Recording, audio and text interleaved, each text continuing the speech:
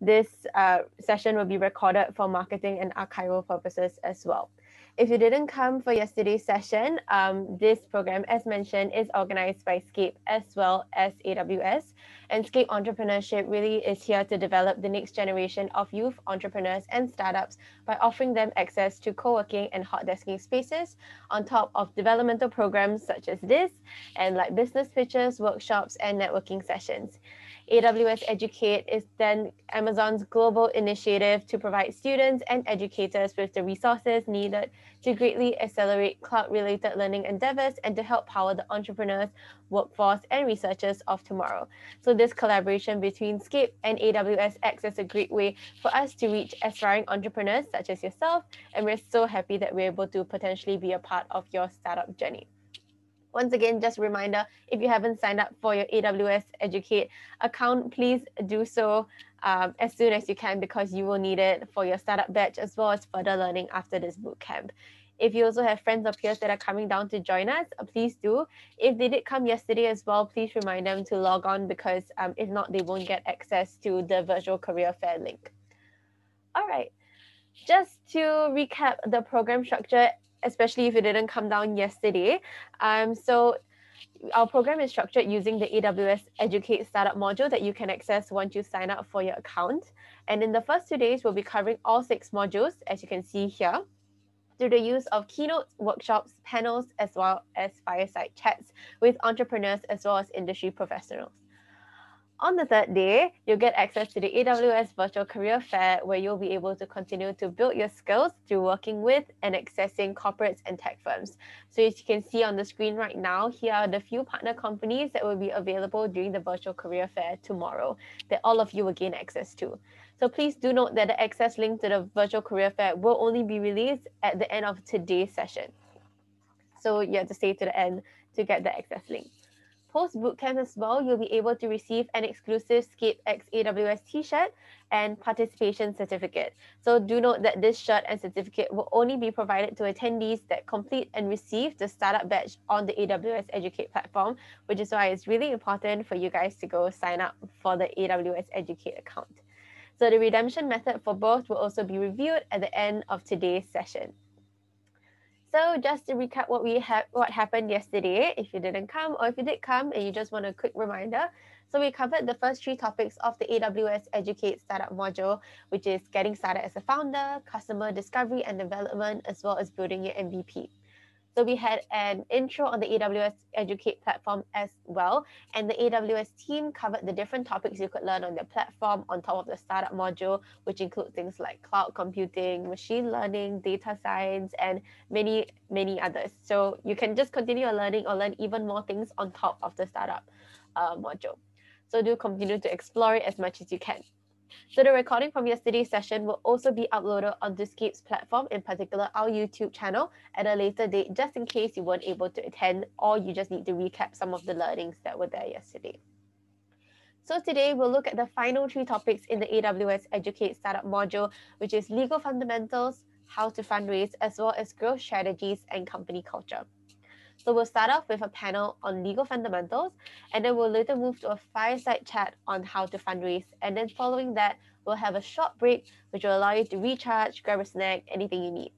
So after your break, we'll move into a panel on growth strategies and company culture, and which is also the last topic we'll cover.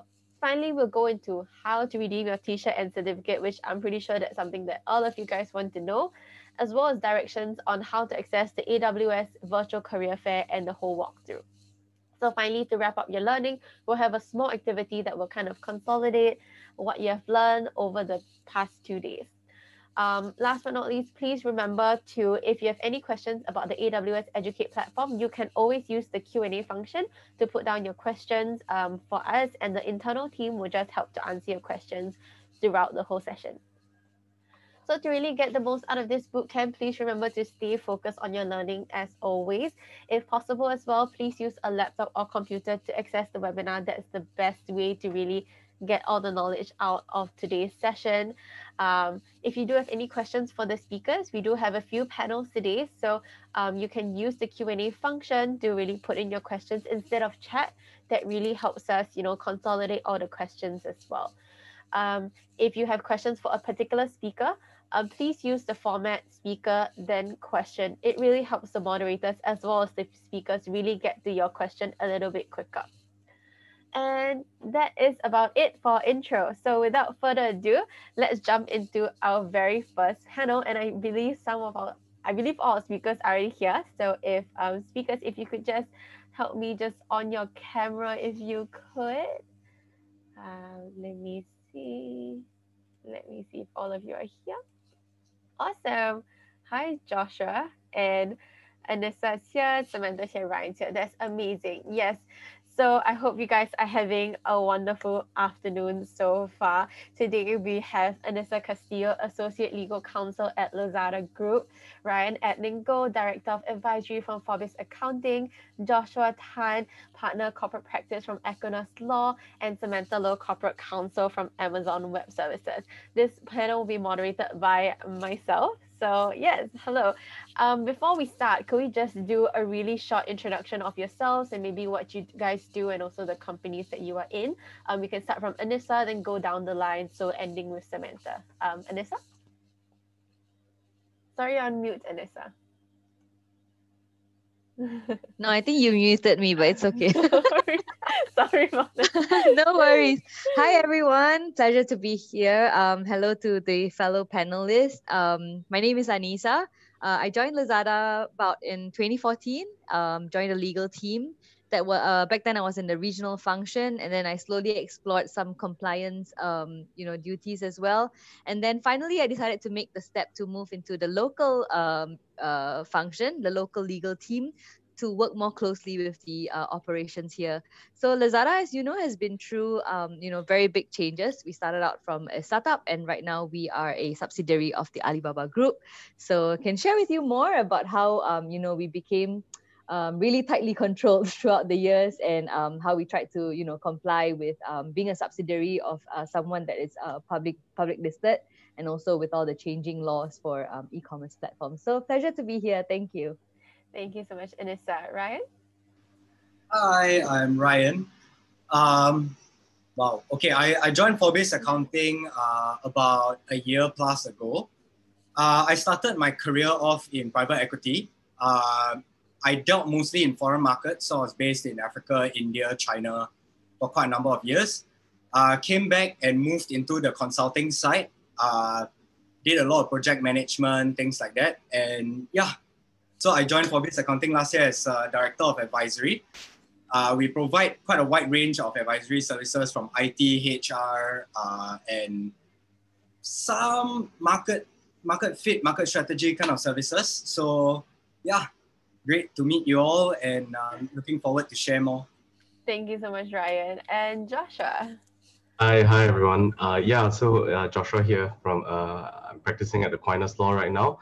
I've been a corporate lawyer basically all my working life, and uh, I was in-house counsel at a couple of places before this, uh, startups as well.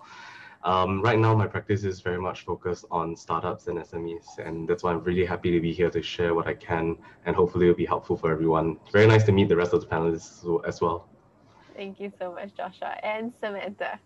Hi everyone, I'm Samantha. I work for Amazon Web Services, um, uh, and I, co- I cover the ASEAN region. Um, I have been in Amazon for about two and a half years already, and before that, uh, I spent a majority of my um, legal career in actually the banking industry. So um, yeah, if you ask me about outsourcing and and the like, that's kind of my bread and butter before this. Um, and I'm really excited to talk to all of you about um, you know the legal issues that you should be considering about when you are starting a startup. All right. Thank you so much, Samantha. Um, just again, a reminder to all attendees, if at any point in time, if you have any questions, you don't have to wait to the end to do the Q&A. You can just drop them right in the Q&A and I'll just continuously look at the Q&A um, whenever throughout the panel. And if a question is good and it comes up, I'll just slot it in. So anytime. So to just to just start off with a pretty, I guess, general question-ish that I'm gonna pose to every single one of our panelists. And if you had to choose just one, what is the one of the most important legal fundamental that startups should pay attention to? And if we maybe we could start with just Joshua, and I'll just continuously go along. Yeah, uh, thank, thanks a lot for that question. I, I think one of the, the, the main things that I try to uh, make sure that um, you know my clients understand right is that and, and even people who aren't clients but people who do want to start business uh, I can understand there's always some sort of inertia, you know, to to get a lawyer, and you don't actually always need a lawyer. So it's very important to just understand this one concept, which is disputes happen due to uncertainty, right? And if you have the opportunity to put something in black and white, to flesh out the thoughts, you know, that both sides have when you're deciding to enter into any form of business arrangement, it's it's important to do that and just align your expectations, right? You know, um, if let's say you you know you're not engaging any lawyers or whatever, and and but you guys want to do some sort of collaborations, take the pain now to set out the terms, you know, of, of what you guys understand each side to contribute, and it will it will go a long way to preventing a dispute. Yeah, the best agreements that you can see are the ones that reduce the chance of the dispute. Thank you so much. And how about Samantha yourself? Uh, I fully agree. And a strong foundation, in my opinion, is key to creating long term success. And at the startup phase, that's where um, it is important to put in place all the necessary um, documentations um, to, to really protect your company. And from my perspective, in addition to like a founders agreement, um, uh, it would also be to protect your assets, for example, your intellectual property. And this starts with your company name. Um, and when picking a company name, it is really important that you do some due diligence uh, to help you avoid, you know, issues like trademark infringements or, or domain name problems, and also ensure that the name that you choose is actually available to use. And in Singapore, it is super easy. Um, the IPOS, which is the Intellectual Property uh, Office of Singapore, and also ACRA, which is Accounting and Corporate Regulatory Authority in Singapore. They offer such functionalities for you to make sure, well, to check that you know your name is available for use and that is not infringing a third party's trademark. Thank you so much, Samantha. And I think I, I can hear kind of the same things uh, from yourself and Joshua in terms of like, I know you did mention things like founders agreement and, you know, things like protection and Joshua mentioned things like disputes. And, you know, I think these are a few things that founders really have to take note of. Um, these things seem kind of um, general um, for Ryan as well as Anis, I would like to open up the question to you guys. Do you think there are any specific industries or verticals in which that you think legal fundamentals are inherently more important, or do you think legal fundamentals spread out amongst all different startups are and are as important amongst all different verticals? If you get what I mean. Anis, maybe we start with yourself. Yes, uh, Natalie, thanks. I get what you mean. Um, uh, if you were to ask a legal person, I think we would definitely say no matter which industry we, we're in, um, you know, all legal aspects are important. Um, but I think more so for the heavily regulated um, industries. Back then, when Lazada started out, we were not so regulated. The laws around uh, e-commerce were not so developed, but right now we can start to see that the laws are actually catching up on us. So mm-hmm. if we didn't have like a good um, base then, if we didn't have a legal team then, it might sort of be hard for the business to kind of catch up. So we are constantly updating the business, you know, what are the developments of the laws, different areas of the regulations, in what way this might implicate um, us one day. So even um, I, assume that like banks, pharmaceutical industries, you know, where they already have the law set out for them, it's heavily regulated. Um, that's where you know you need to pay attention to all the details. But I wouldn't say that you know startups have to or uh, e-commerce companies have to pay less attention to details because you never know one day when the law will apply to you. Like for mm-hmm. example with the new payment services act in place that kind of like implicates you know a lot of companies out there who are doing who are offering payment services. So even though we're not a bank or even though we're not a money lending services the law kind of like updates itself and that's where you know we also find ourselves in that kind of situation. So um, it's good to have um, you know um, a legal team or you know external legal counsels legal services helping you out to familiarize you and keep you updated with the laws out there. Thank you Anissa. how about yourself Ryan? Your thoughts on this?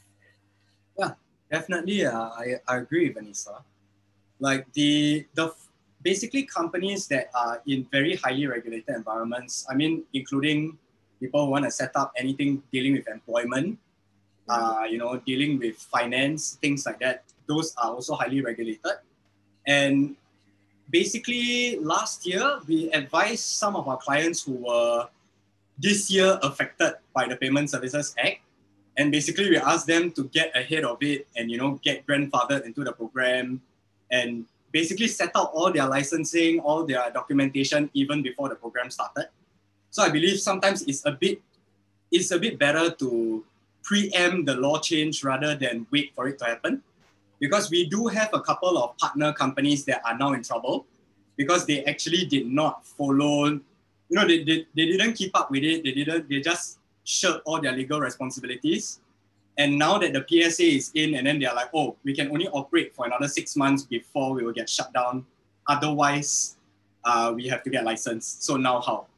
So there, there are cases like that around, like, I guess. So for me, I would say the biggest takeaway is try to preempt all your legal issues before it happens. Like make it a part of your startup's core considerations. Yeah, before it happens. Thank you. And I think I'm just looking at the Q&A. Thank you for all the questions coming in. They're really amazing. And just continue putting your questions if you like. Um, there's a question by an, an anonymous attendee. Um, they did mention that at which stage of a startup should these legal fundamentals become necessary, i.e. setting up a founder's agreement? Um, and I think what um, Ryan hit the nail on the head when he said that, you know, you have to like preempt all your things. But I think for founders, sometimes it's really hard, right? To kind of know exactly when you should do it. And you're like, oh, maybe I should focus more on doing you know building my mvp then when should i do this? Yeah so when when do you recommend that they actually start to think about you know their these legal fundamentals or you know yeah ryan if you want to comment further about what you mentioned. Oh, okay yeah definitely for founders agreement i would say they should have it before they start the business. Don't build an mvp first and then aim to have your founders agreement because by that time right you're going to be arguing. Uh, I've seen a lot of ugly founder breakups where, you know, they will argue and then they'll say, no, I put in more effort than you. You know, my effort is worth more than yours, things like that. Mm. So it should always be set up, uh, you know, especially in the negotiation stage. You know, you should negotiate first and say, okay, I expect you to put X amount of hours into this product. Mm. And therefore, this is your equivalent remuneration. Agree, disagree. If you agree, put it in writing. Don't just do a gentleman's agreement because you cannot expect people to be gentlemen once things move along. Yeah. Thank you. Joshua, how about yourself? I know you worked with a few different startups as well. Do you echo what Ryan thinks? Yes, uh, uh, completely. Ryan was absolutely on point. Um, it's it's very important, right? Uh, as I did mention just now, you know, like look, if even if you're not going to get an external lawyer, right? Just writing out and, and you know having some sort of terms of reference between the founders, right? Especially when there are multiple founders, of course. Uh, you know, it sets out expectations. And when your expectations are clear, you're not going to have you know these uncomfortable disputes or, or rather you reduce the chance that you have these uncomfortable disputes you have a base to work off from when things need to change when you know things are dynamic but you at least have that base to work off on and it really changes a lot just going through that one day that that process of aligning everybody's roles and responsibilities, remuneration, things like that, it helps a lot. Thank you, Joshua. And then kind of moving um, towards Samantha as well. Somebody asked, sorry, I couldn't catch what Samantha said earlier. Where should we check if we didn't copy a third party or break any law? Um, was this the ACRA and IPOS one, if I'm not wrong? Yeah, right. So okay. specifically the trademark, you can actually do a trademark search on the IPOS website. And then ACRA also does offer a search functionality for you to check whether or not the, the business name is available. But I would recommend that you do both searches. And following kind of that question, somebody asked about what is the next thing um, I guess they think what's the first legal consideration that most startups miss out that must be considered other than registering name, logo in ACRA and IPOS. Um, I guess besides that, and maybe the founders agreement, what do you guys think uh, would be the next thing? Maybe Samantha or Anissa could jump in for this. Um, I, I would say the next thing is putting in place a, a, good employment agreement for anyone else that's not a founder but is working for you in the startup and making sure that um, the employment agreement um, deals with stuff like intellectual property because you would want anyone working for you for that IP um, to, to vest in you, right? The, the business. Uh, and obviously confidentiality agreement All right.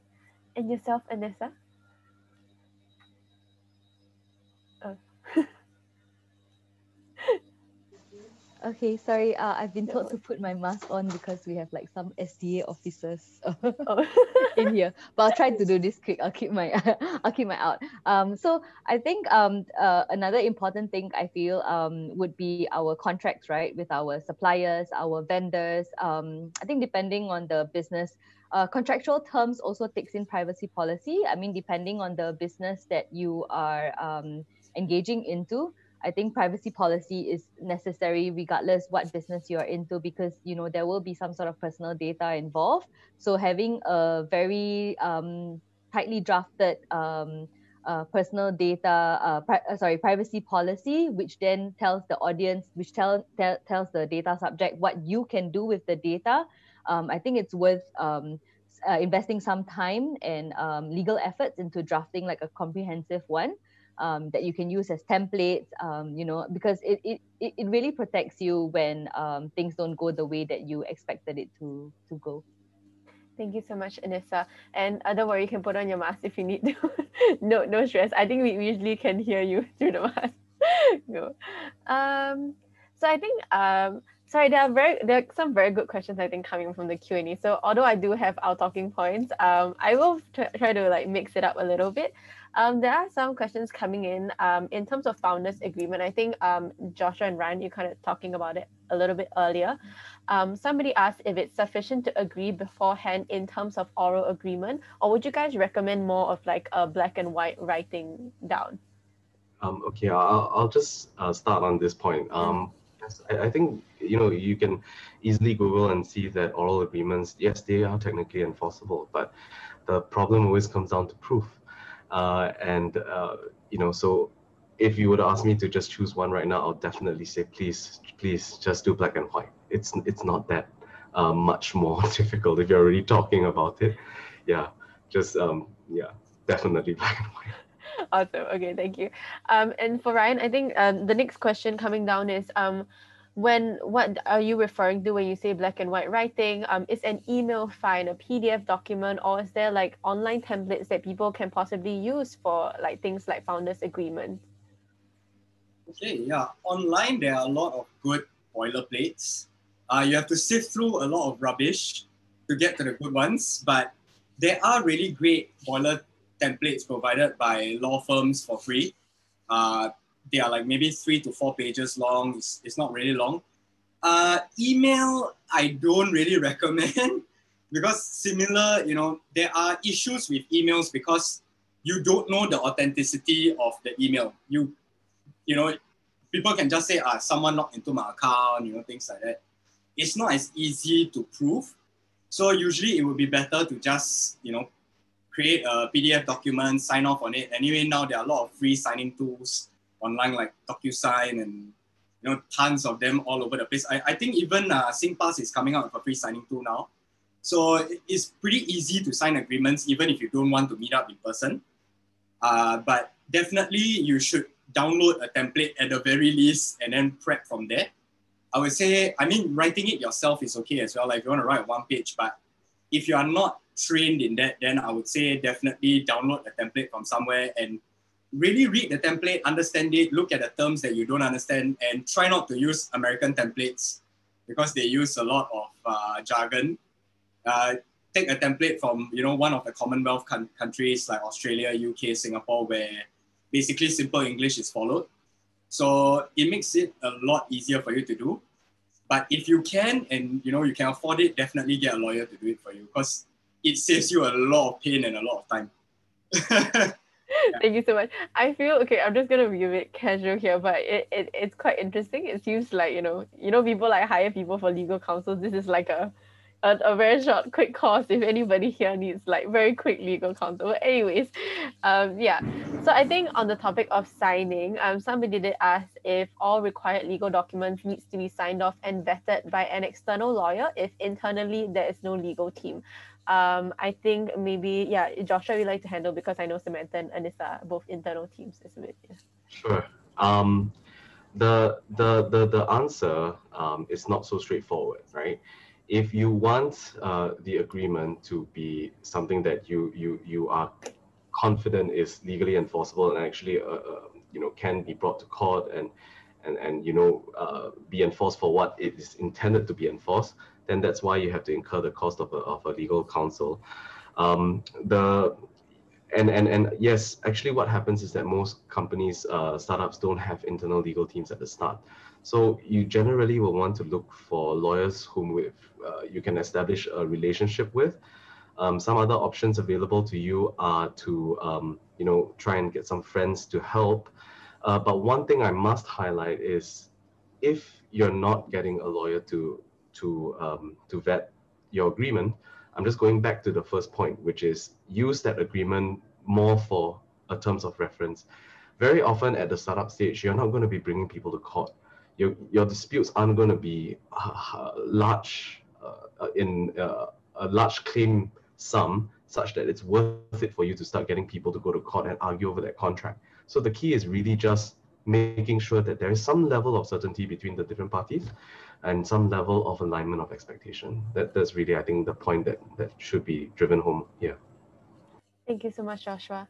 And then I guess just jumping back to the talking points that we had, um, what do you think are some of the more common legal mistakes that startups make? Uh, maybe Anissa, you could start with yourself, and I don't know if you want to pull in some uh, experience that experiences that you had with Lazada at its founding stages. Um, so when I came in, we had a lot of work to do. Um, there was already a legal team uh, then in, and I was in the regional um, side, right? So we were many, uh, helping to manage all the other Southeast Asian countries as well.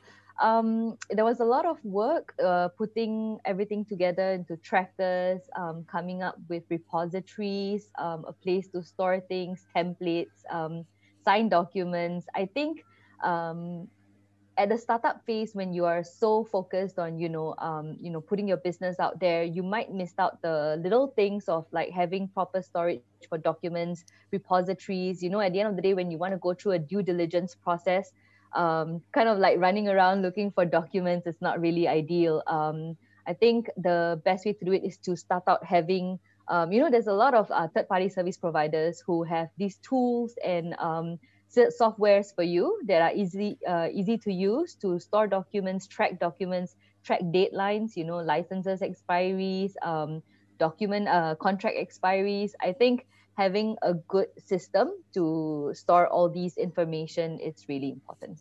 Thank you. And um, Samantha, what about yourself?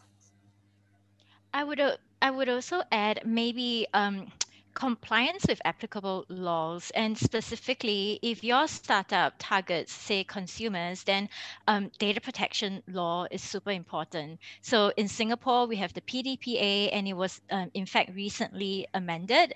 Um, so the maximum penalty under pdpa used to be 1 million it's now more if your annual turnover is more than 10 million. But obviously if you are in breach of pdpa um, that 1 million dollar fine could put you out of business. So and the pdpc um, offers a lot of great resources for startups to get started on compliance with uh, all the obligations under pdpa so make use of those resources. Thank you samantha.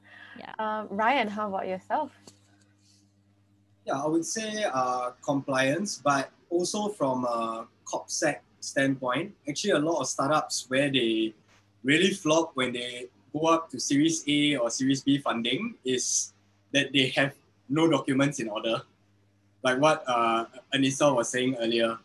So we have clients, right, who are looking to raise or they secured an investor, let's say for around 10 to 20 million dollars. And then they realize that none of my documents are in order. I cannot find anything.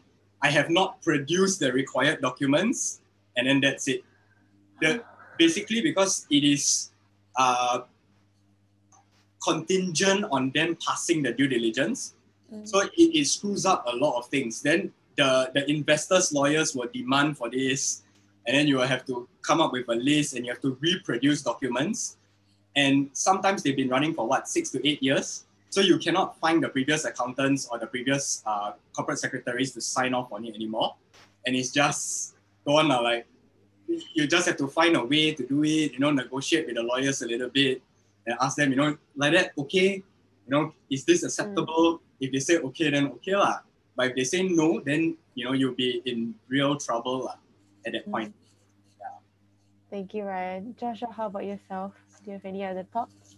Yeah, um, I think that one of the the the possible problems, and I've I've seen this a few times, is that at very early stages, uh, when when startups start to get fundraising, um, you know, they may default to using some of the e- uh, easier uh, mechanisms like uh, safe notes. I think many people will, will be will be familiar with with what that is, right? Which is a very, it's called a simple agreement for future equity, but not actually fully understanding the implications of uh, of a note like that. And even worse, sometimes they may just meet a couple of angels, um, may sign some terms with them, and and because they didn't even just run it by a lawyer you know, it wouldn't be be be too expensive, or or better yet, if, if you had a friend who was in that industry, who would be able to just you know let them know the implications of what they're signing, um, you know, so they tend to then face the consequences later on uh, in the future round. So so once there are agreements with third parties for fundraising, always try to find some way to get some sort of legal help,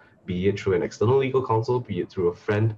Um, and and of course online resources that's helpful but preferably for somebody who's actually um, practicing or familiar with something like that a fellow in-house counsel in another uh, uh, a startup perhaps right and uh, or even better another founder who has gone through something similar yeah that, that's very important Thank you, Joshua. And I think um, moving on to, I think uh, Samantha, so you are currently, you know, legal counsel in uh, AWS. Uh, so do you think it's important um, because you are part of the legal team do you think it is important for all startups to have a legal team in their business? I think that's what joshua said. You can always go to like other um, other sources. You can check online. You can talk to other founders. But you know like in your opinion is it important for all startups to have some sort of a legal team in in their startups? And i guess what are the benefits or fallbacks of having a legal team? Yep. So i I, I would definitely say it's important to have access to uh, the right legal resource. Uh, and I do recognize that, practically speaking, if you're a startup, there's three of you you probably don't have money, you know, or, or, funds to, to hire like a lawyer. That could be quite expensive. Um, so I, I don't necessarily think that uh, if your startup scale is super small, that you necessarily need to hire an in-house lawyer. Um, but then you definitely um, need to engage uh, external law firm um, to, to assist you on, you know, the legal needs that your business encounters. Uh, but one thing I would say uh, when engaging an external uh law firm is that uh, you need to be like you need to be upfront and really tell um, the law firm like your entire business model and the like so that the law firm can anticipate the legal issues on your behalf and then advise you accordingly. Because obviously uh, an in-house counsel who is deep in the business with you could preempt issues which outside counsel wouldn't know if they are not deep in your business. So I would say that's probably the key um, difference. But I would imagine that at the beginning stage of a startup, you're really just getting the basics started, like you know my standard customer agreement, my privacy notice, my founders agreement, shareholders agreement, and those I think an outside counsel should be able to assist um, quite well. Thank you so much. And interestingly, um, so I'm going to jump to Ryan right now. Yeah, so I know you are kind of like an external advisory, right? So I think what Samantha said that, um, you know, she said, oh, you can always uh, find an external advisory to really help with um, your startup legal processes. I think um, maybe you can share more on like kind of why is this a viable solution for guess young startups? And when do you feel that is the best time for an external advisory to come in to help the startup with their whole legal process? Okay. Um, I do external advisory, but not exactly on legal things. Uh, I'm not. uh, we, we do partner up with law firms to provide the, the whole range of services.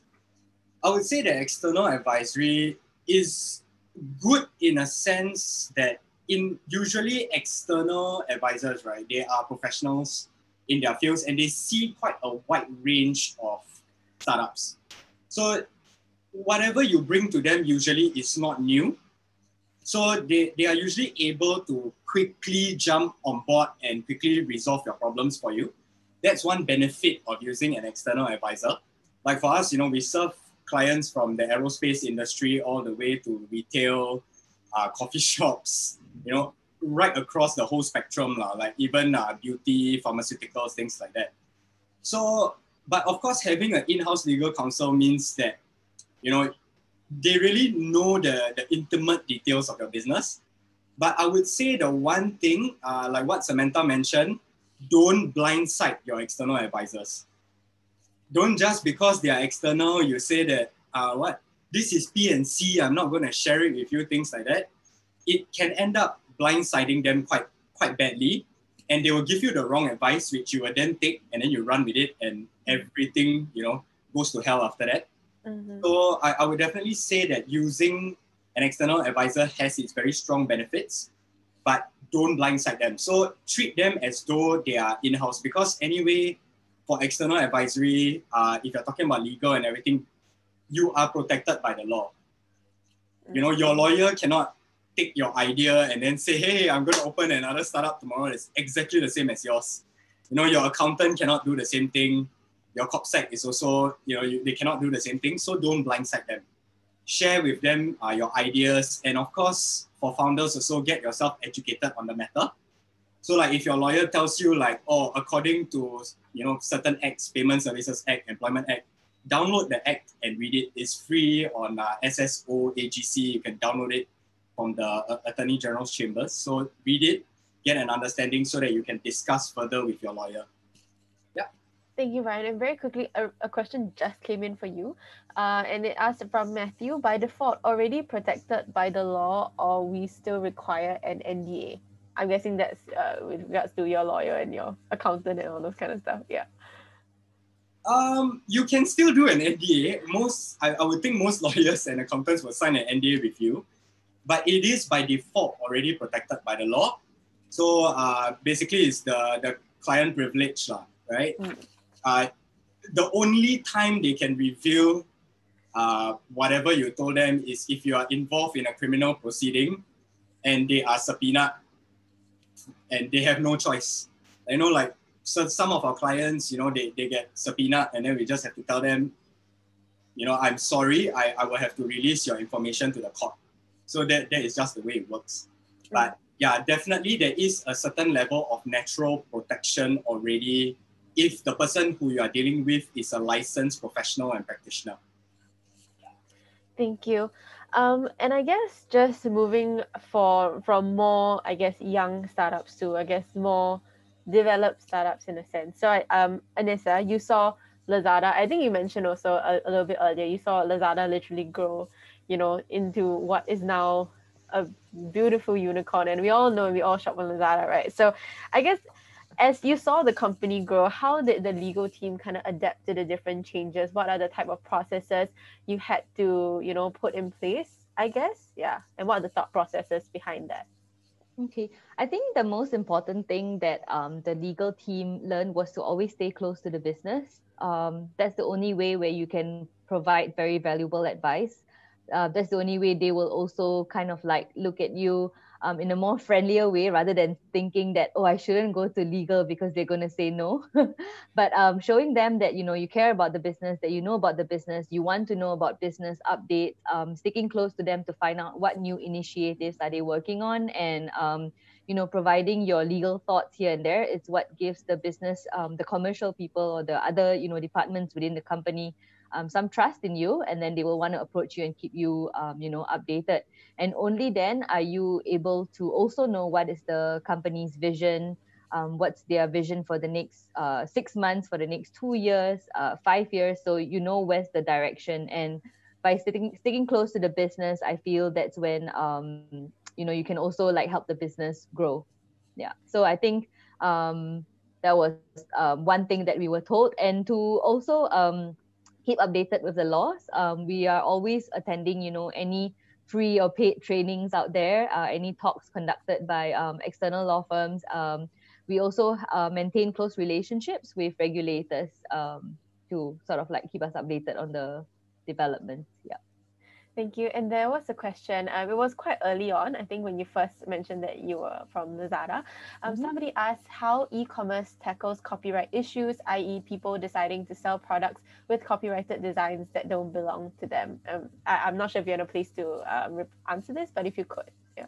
Sure. So um, I think how Lazada tackles um, IP issues back then and now, it's um, very different. Uh, I think right now we are thankful that we are a subsidiary of Alibaba, who has you know all the fancy tools in place um, to make uh, you know um, all these sort of processes a lot easier. So we actually have like an intellectual property platform right now where rights owners can just you know uh, make complaints. But back then it was more of a manual way but it was equally important to um, address any copyrighted issues because the laws in singapore are slightly um, you know, a bit strict. As long as you have reasonable knowledge that um, something is, um, you know, an infringement you have the duty to take it down and um, yeah, and not participate in that. So um, in the manual ways, we just make sure that we never uh, miss out any complaints brought in to us. We treat every complaint very seriously, and we give effect to you know the rights owners' um, ownership of intellectual property.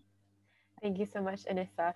And on on on the on the topic of kind of like copyright and all these kind of things, um, Josh, I'm moving to you.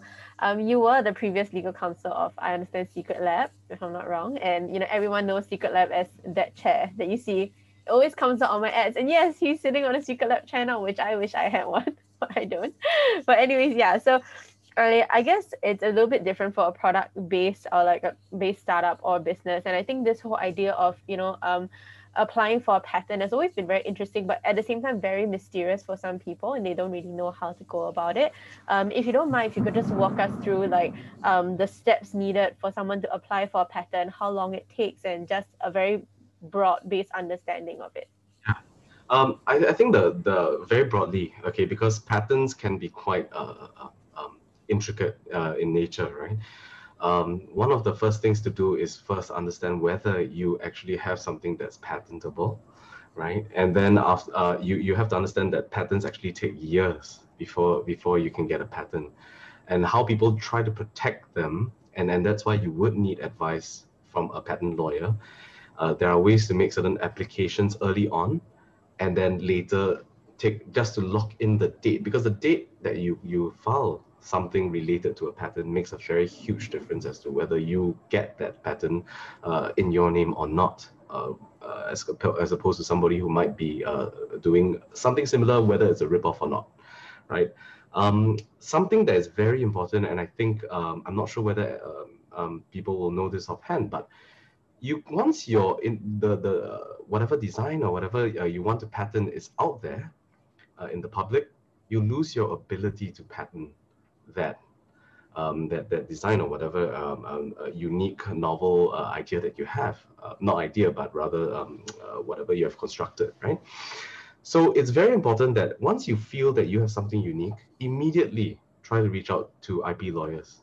Okay, IP lawyers in Singapore, they understand that the patent uh, process is long, it's expensive, but you, it's not as if you have to pay everything up front. It's all staged, right? And it can be suited according to what you need. So just remember not to to keep if anything you think is novel enough, keep it confidential. Make sure that whom, whoever sees it is bound by confidentiality. Make sure it doesn't reach the public in some way or another, and immediately reach out to a patent lawyer. Okay, awesome. Thank you so much. Uh, I hope that provided everyone here a bit curious about the patent process, a little bit of a broad-based understanding. And i will we, we have a, like a, about five minutes ish left. Um, i will move to some of the questions in the q&a um, i'll just get the really quick um, questions out of the way. Um, first of all is digital signature on the pdf documents legally valid and binding under the singapore law? Um, anyone can just shout out the answer here. Yes. short answer yes. All righty we got that down. Um, we're going to be using it here uh, it, it will be binding. So, I, I, but of course, there are some intricacies, but I don't think we have the time to go through that. but the short answer is yes. All right, yeah, you can always reach out to them if you want more legal counseling. yeah. Um, somebody else asked, what do you think about making references to sample contracts and agreements found online and modifying them slightly to suit your business? I think Ryan, you talked a little bit about that just now in terms of you know what type of documents you can find. Um, yeah. So any any other thoughts about this besides what you mentioned earlier? Uh, yeah, I would say that when you modify it, uh, do double check all the terms, uh, take out the placeholders, otherwise you will look a bit uh, silly. So in, in my younger days, sometimes I left some placeholders in. Uh, yeah, and, and, and it makes you look a bit weird. lah. but overall, I would say that definitely you can do that. And it's a good idea to do it if you cannot hire a lawyer. But if you can, then try not to scream on hiring a lawyer. lah. Because really, nowadays there are a lot of lawyers who are doing uh, contract vetting and editing for very good fees. Yeah. All right. Thank you. Um, one more question. Uh, what are some of the documentations that most startups easily miss out on along the way that could cost them? And uh, Samantha, would you like to take this question? Mm, I would say um, a valid contract with third parties that you have uh, relationships with. And i think um, uh, Anissa talked earlier a bit about, you know, uh, vendor contracts, uh, putting in place the necessary uh, agreement with your employees, um, with your partners or anyone that you collaborate with, especially if you plan to develop certain IP together, definitely have documentation in place uh, to deal with um, who owns the IP and, and, avoid joint ownership of IP uh, unless you get advice from an IP lawyer. Thank you so much. Uh, so I think that will be honestly our last question. Just to close off this panel, thank you so much once again. Um, just going around the whole panel, what is one piece of advice you would provide to all these potential founders or startups? Yes, maybe we could go from Anissa, then uh, on my screen up. So Anissa, Joshua, Ryan, then Samantha. Yes.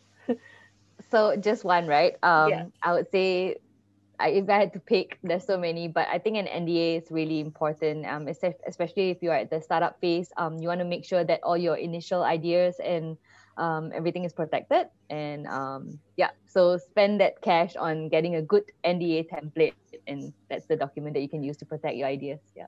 Thank you, Anissa. Joshua, yourself? Yeah, um, for me, uh, what I want, uh, I'm hoping people will take away is it's important to talk to other founders especially more experienced founders, um, they will be able to tell you their experiences from uh, the legal perspective, even, and of course, other things. But um, I think that nothing hits home harder than somebody telling you from their personal experience um, something you know that they experienced as to why uh, the legal aspects of a startup are important. Um, especially if somebody has actually gone through some sort of uh, dispute or some sort of um, regulatory hurdle, right?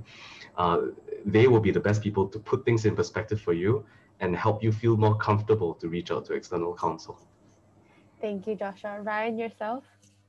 Uh, I would say corporate secretarial uh, documentation. So a lot of people miss out on the directors' resolutions, the shareholders' resolutions, and things like that as they grow. And I mean, even there are companies who transfer shares without any documentation at all and that creates a lot of problems for fundraising in the future. And it's a very big hamper when you know someone has agreed to put five million dollars in your company and then you can't unlock the money because you just failed your, your due diligence. So yeah i would say that, that that for me would be one of the things i want them to take away. Thank you ryan. Samantha? Um, I would say um, as a practice practical measure if if you don't have a lot of resources to engage you know a, a, a lawyer to help you on a full-time basis then um, take an interest um, try and learn about the landscape. Like I've seen a lot of business uh, people who would go and do like a diploma in law just so that he or she understands, you know, the kind of the legal issues that you would encounter during the course of your business. Subscribe to law firm publications because they update you, give you a summary of what the law says, and, and give you updates on developments in the law. So that's super important. And whatever templates you get from the internet, get it from like a government authority like PDPC, IPOS, um, or from a law firm. D- don't get it from dodgy websites. Great way to end this panel. Thank you guys so much. If um if speakers you could just uh, if you could stay on for a bit. Um there are I think uh, two more questions in there. One for Anissa and one just a general question. I'm not sure if you guys have experience with social enterprises. You guys can just type your answer back. Um I'm sorry we don't have time to cover those questions, but please I think our speakers are really open for you guys if you want to reach out to them on LinkedIn. Please remember to reach out professionally as well as respectfully if you have any other questions or if you just like to connect with them. Thank you so much again, speakers, and I will catch up with you guys um, over email and stuff. Yes. Thank you and have a great weekend, speakers. Thank you. Thank you. All right. Um, moving on to our next part of this webinar, we are jumping straight into a fireside chat, How to Fundraise by Koji Takahashi, Managing Partner of EduLab Capitals. This panel will be moderated by Valerie from AWS. As you can see her face right now, she's here and Koji is here as well. All right, I'll just pass it on to you, Valerie. Okay, yes, let's go. All right, thank you so much, everyone. Um, so here we have is Koji Takahashi from EduLab. And um, Koji, would you like to introduce yourself first? Sure. Can you hear me okay? Yep, I can hear you. Okay, great. Yes, so hello everyone. Uh, very nice to be here. Uh, my name is Koji Takahashi. I'm a managing partner of uh, EduLab Capital Partners, which is the uh, venture capital arm of EduLab Group, which is the one of the leading online uh, education companies in Asia. And as a group, we have invested in more than like a 20, 25 companies, including the uh, uh, regions of Southeast Asia, uh, India, China, US, and Israel. And uh, we focus on, we are typical like a seed stage fund. Uh, we so we focus on like companies at early stage, uh, early stage, and our ticket size typically is around 300k to one mil. So as you can see, um, Koji really has a lot of experience in that field. So before we begin our official panel, um, we'd like to say that, you know, for any questions that you have, you can place it in the Q&A, not in the chat box, so that, you know, we can look at it quite simply. So Koji, can I ask you um, if you can share what are the different types of investors, you know, sources of investments that are out there? Uh, sure, sure. So we can start with the, you know, the first type of investor you uh, reach out to when you start a company is a family and friends, right? So they are the always uh, you know most reliable uh, source of uh, fund when you start a company. So you know I I myself reached out to uh, Big Brother when I started my business or, early in my life. So uh, he was kind enough to you know lend me some money. And so these actually family and friends, I think they're typically provided by in the form of loan or can be an equity, but there is actually, you know, most uh, friendly friendly type of investor. And we also have a, at the pre-seed, uh, pre-seed level, we also have angels. So angels can be someone who's a very uh, successful entrepreneur who took the company to IPO and so on, who's doing this actually more from a philanthropic point of view to help out the startup community. Or it can be someone who can be a purely business-driven investor but uh, who's willing to take a risk at the early stage company. So those are the type of investors.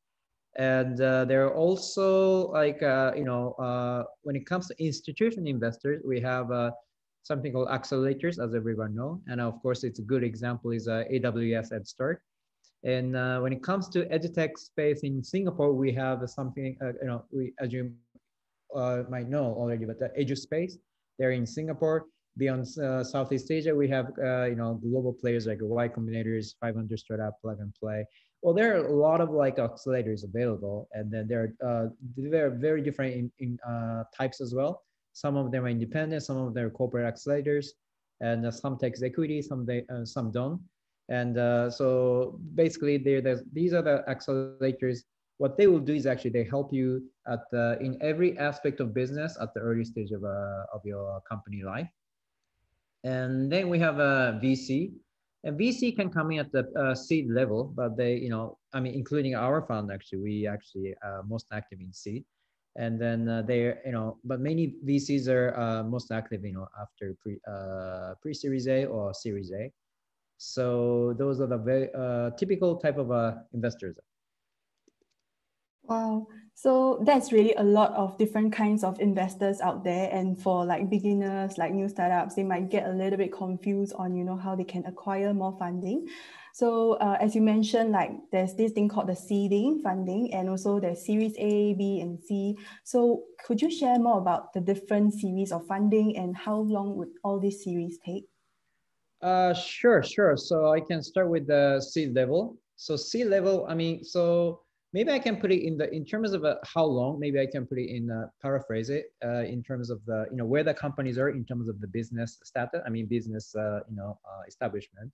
So the the again seed is actually the uh, phase where this is the very first institutional money you'll be raising. Any company is raising typically. So this is actually mainly you'll be using this actually this fund for the typically for product development and of course some of the like uh, initial phase of sales and marketing. So that's uh, that's the C. And then typically in the US, I think it's a, typically it's a somewhere around the value. I mean, ticket size typically half mil to uh, maybe two to three mil. And then you have a next stage of like a Series A. And Series A, and uh, there's a de different actually definition by everyone, right? So I'm just saying this actually, uh, you know, I mean, from my point of view, I mean, we always disagree, you know, when it comes to the definition of Series A, blah blah. So Series A, it's a maybe, uh, you know, this is where a startup, you know, have some kind of any traction. So in terms of any KPI you have, once you, so for example, what are the KPIs? It can be a number of users, can be a traffic, can be the revenue. If you can show to investor any kind of KPIs, and I think you're ready for the Series A. And uh, then next, you have a Series B. Series B uh, a lot of people define this as like you know the stage where the company has proven their uh, product market fit. So this is a stage where once you're putting additional money, you know, pretty much you have a you know you're able to scale up the you know uh, revenue size at the higher certainty. Now, I think I'm a believer of like a Series A being uh, being actually the stage where the PMF is uh, pretty actually proven, but uh, other people, many other people define this way and uh, you know of course at this stage like you know you're starting uh, generating uh, you know uh, some i mean good uh, amount of revenue. And then series c and beyond that it's anything beyond that. So uh, you know it's you're doing pretty successfully. And then you're actually raising fund you know in the eyes of potential ipos on the next i mean sometime in the future or acquisition in mind I see. So that really gives our audience, you know, a brief understanding of what is the difference between A, B, and C, and they can plan their timeline on when to acquire what kind of funding, right? So I think the next question that we have here is um, when should a startup begin the fundraising process, and when do they know if they are ready for fundraising? Yes, I think uh, to, to answer my version of answer is anytime now so when you have a uh, when you have a business idea, now you should have a you should get ready for the fundraising. I uh, think it's a always good idea wherever the you know stage of your company. I think you should be ready for fundraising because uh, it really helps to have a. I think I spoke with some entrepreneurs actually in the last week, and I think it uh, seems to help to uh, it seems to help to have uh, two things actually all the time. One is actually pitch book. I mean, of course, I mean, this is regardless of phase. So I think if you're talking to VC, you typically have a pitch book. But even at the, when you're just starting a business, I mean, just you have just kind of business idea, it's good to have a pitch book. I mean, at, at, as much as possible. I mean, of course, financial forecast is actually, you know, all the, uh, it's not going to be accurate, but I think it's always have a uh, good to have a pitch book. And then uh, it's all, and the second thing is actually always uh, good to have a, you know, preparation for elevator pitch. 30 seconds, one minute, actually, uh, you know, you'll be able to actually, you know, articulate, you know, what your companies are and what you're trying to achieve. So to, did I answer to your question? I think it's a, I think I, whenever you are, I mean, when you're doing business, I think you should be ready for fundraising. So you mentioned about the pitch book. Um, how can we pitch well enough to convince our investors? Like, what are the necessary few things you know that we should include in our pitch book? Uh, sure. Uh, yeah, so you can go online and actually check all these. There are a lot of templates available, but I think it's actually they're quite good actually. So I think you can have like you know typically, I think uh, first and foremost actually you need to define the problem you're trying to solve and then you need to talk about the solutions you're providing right the, what kind of solution what kind of value proposition you're uh, offering to the world to solve the problem and then this actually involves with the uh, you know your description of your product uh, how it is how it's unique and so on and then for the especially from vc's point of view for i mean vcs are always looking for like you know for their investment to become actually multiply so of course address size of the market is very important I mean, so is it scalable enough? And uh, you can have a competitive landscape typically come with the, you know, with the, you know, the competitive benchmark with a matrix, you know, I mean, the type of page you have seen. And, uh, you know, of course, management team. And if you're at, uh, you know, the stage, uh, you know, uh, good enough, with is like the financial forecast. And of course, uh, you know, detail of the valuation and the scheme. I think those are the must have and you can add of course other things but i think those are the things you should have uh, uh, at least mm. Yes i also agree that you know we must have all the market sizing and our value proposition like all these kind of things must be defined very clearly so that the investors know what are they investing in right so um, just now you mentioned that you know elevator pitch is also very important to prepare. Um, do you have any examples of your successful um, elevator pitch and like how could you like share a story about that? Elevator pitch. I haven't encountered actually elevator pitch having said that, but I always hear about the, you know, the, you know, example of a, you know, uh, elevator pitch actually led to the actual fundraising. But I think it's uh, they need to include actually the problem and the problem they're trying to solve and the solution. I think those are the most the two important uh, you know elements. all right so um, we have a question from the floor um, the speaker mentioned that a company is ready for series a when they can show investors some form of kpi do you mean that the company is ready for series a once the company has hit a certain kpi set by the company itself? Uh yes. So i think so. I'm not i'm trying to understand the question. So you need to show the you know uh, relevant KPIs, and then so if you have a, I think the bottom line is if you can have the gen start generate if you already have a traction in terms of revenue, I think that's always better. But even without it, a lot of investors invest actually, uh, you know, for if you have a you know uh, convincing KPI, for example, number of uh, you know you have so many like uh, you know uh, online, I mean no, I mean free users on, on your platform. Let's say this is a B2C platform and that you actually haven't proven the monetization part. But I think, hey, but this is actually, you know, can be very attractive Series A investment. So, so that that kind of a, you know, uh, achievement is necessary. So, I think the answer, I mean, the kind of a question. Yeah, I think it kind of answers the question. Hope it answers my question. If, if I haven't, please uh, type in again. Sure, sure. So um, for the participant who asked this question, if you still need any clarifications, you know, feel free to type in the Q&A. So another participant actually asked, uh, what is a good way to get in contact with more VCs or business angels? Because, you know, sometimes it's very hard to actually get mm. encounter with all this kind of um, very um, important people. Yeah. Sure, sure. Uh, I think the best way is actually always referral.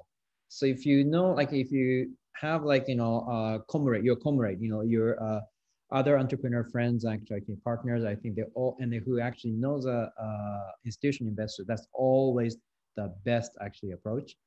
And then actually so because vcs typically receive a lot of cold calls and they actually receive so many pitch books and it's not very intentional including mine actually. So it's not it, typically vc you know capitalists i mean they don't have a time to reply simply because they're dealing with so many uh, you know, uh, such a high volume, it, it doesn't mean they don't intend to reply, right? But uh, what I mean is actually, so uh, the best is always through referral. Worst is actually through cold mail. Yes, and I also agree on that. You know, this is a very good opportunity to actually get connected with all our panelists and even Koji right here because you never know uh, when an opportunity can come knocking on your door. Uh, right? Uh, yeah, so so if you don't have any immediate contact, I think it's a you know event like this or like you know uh, I mean when the COVID actually settles down, I mean any kind of a online or offline event, actually, you know, like for example, hosted by AWS Esther or any other, you know, uh, platform, I think that's a very good one because you can reach out to VCs and then you can just casually talk to, hey, what's up, right? So that's always easier.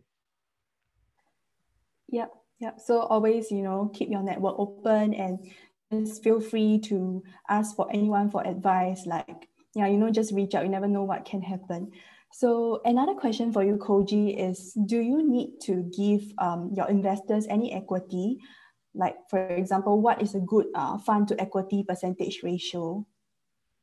Uh, okay, so I think to answer to that question, not necessarily, although many, I mean, majority, I mean, mainstream is actually you give away equity. So speaking about the, you know, the equity ratio, so my answer would be always uh, as small as possible, of course, right? Because I mean, it's kind of what kind of answer is that, but it is true because you shouldn't give up your equity. I mean, so easily, especially if you're early stage. So seed level, typically, I think, uh, mm, so some accelerator, you know, uh, you know, platform, they actually typically take up to 10%, uh, you know, I mean, or more or less. And uh, so let's say in the seed level, typically 10% up up to 20%, depending on the amount, right? And then uh, Series A, Series B, I mean, Series A, Series B, maybe like a 20% typically. And Series B, a uh, Series B dot, I mean, B plus, Series C become even like one third of the you know, whole equity stuff like that. But I think it's, you need to come up with actually your business plan it of course it never goes according to the business plan. You, but you should always have a business plan and a cap um, cap table actually forecast to actually manage this. Mm, right right. So um, what are the some signs that the investors lose interest in funding our project? And how long should you know they wait if they don't hear from the investors? Like should they um, follow up very regularly or you know what are some advice that you can give it to them? So is this typically like uh, once you talk to investor or you just uh, reaching an investor for the first time? Um, if you are reaching out to the investors for the first time? Mm-hmm. okay so without having having met them yet.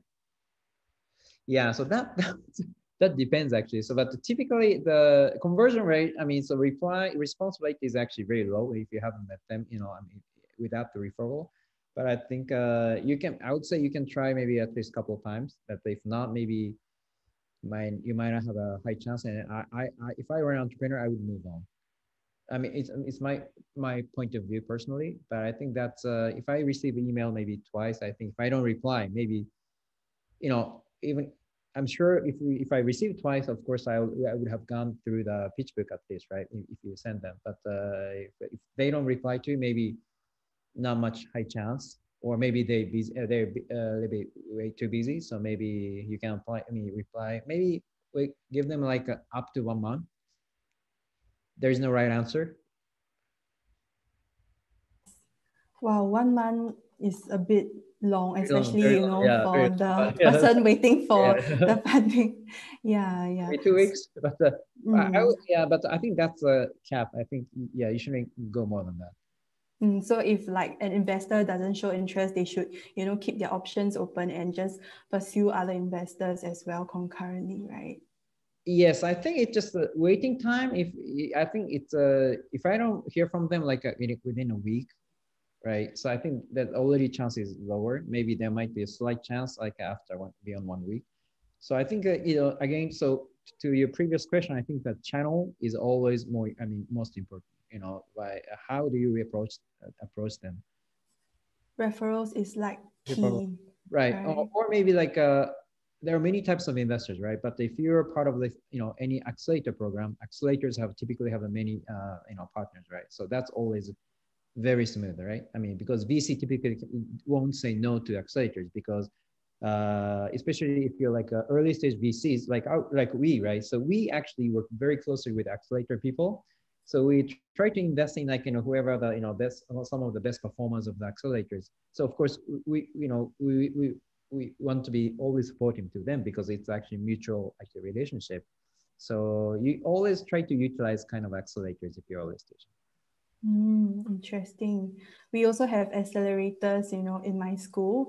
Uh, there's this thing called the SMU IIE. So it's the Institute of Innovation and Entrepreneurship where, you know, student projects can get a chance for funding as well. Absolutely. Yeah. So I think all these opportunities really, you know, help startups, you know, get connected to the different investors out there, mm-hmm. right? So Koji, can I ask you, um, how can startup gauge what is a good investment to accept and uh, when should they walk away from an investment offer?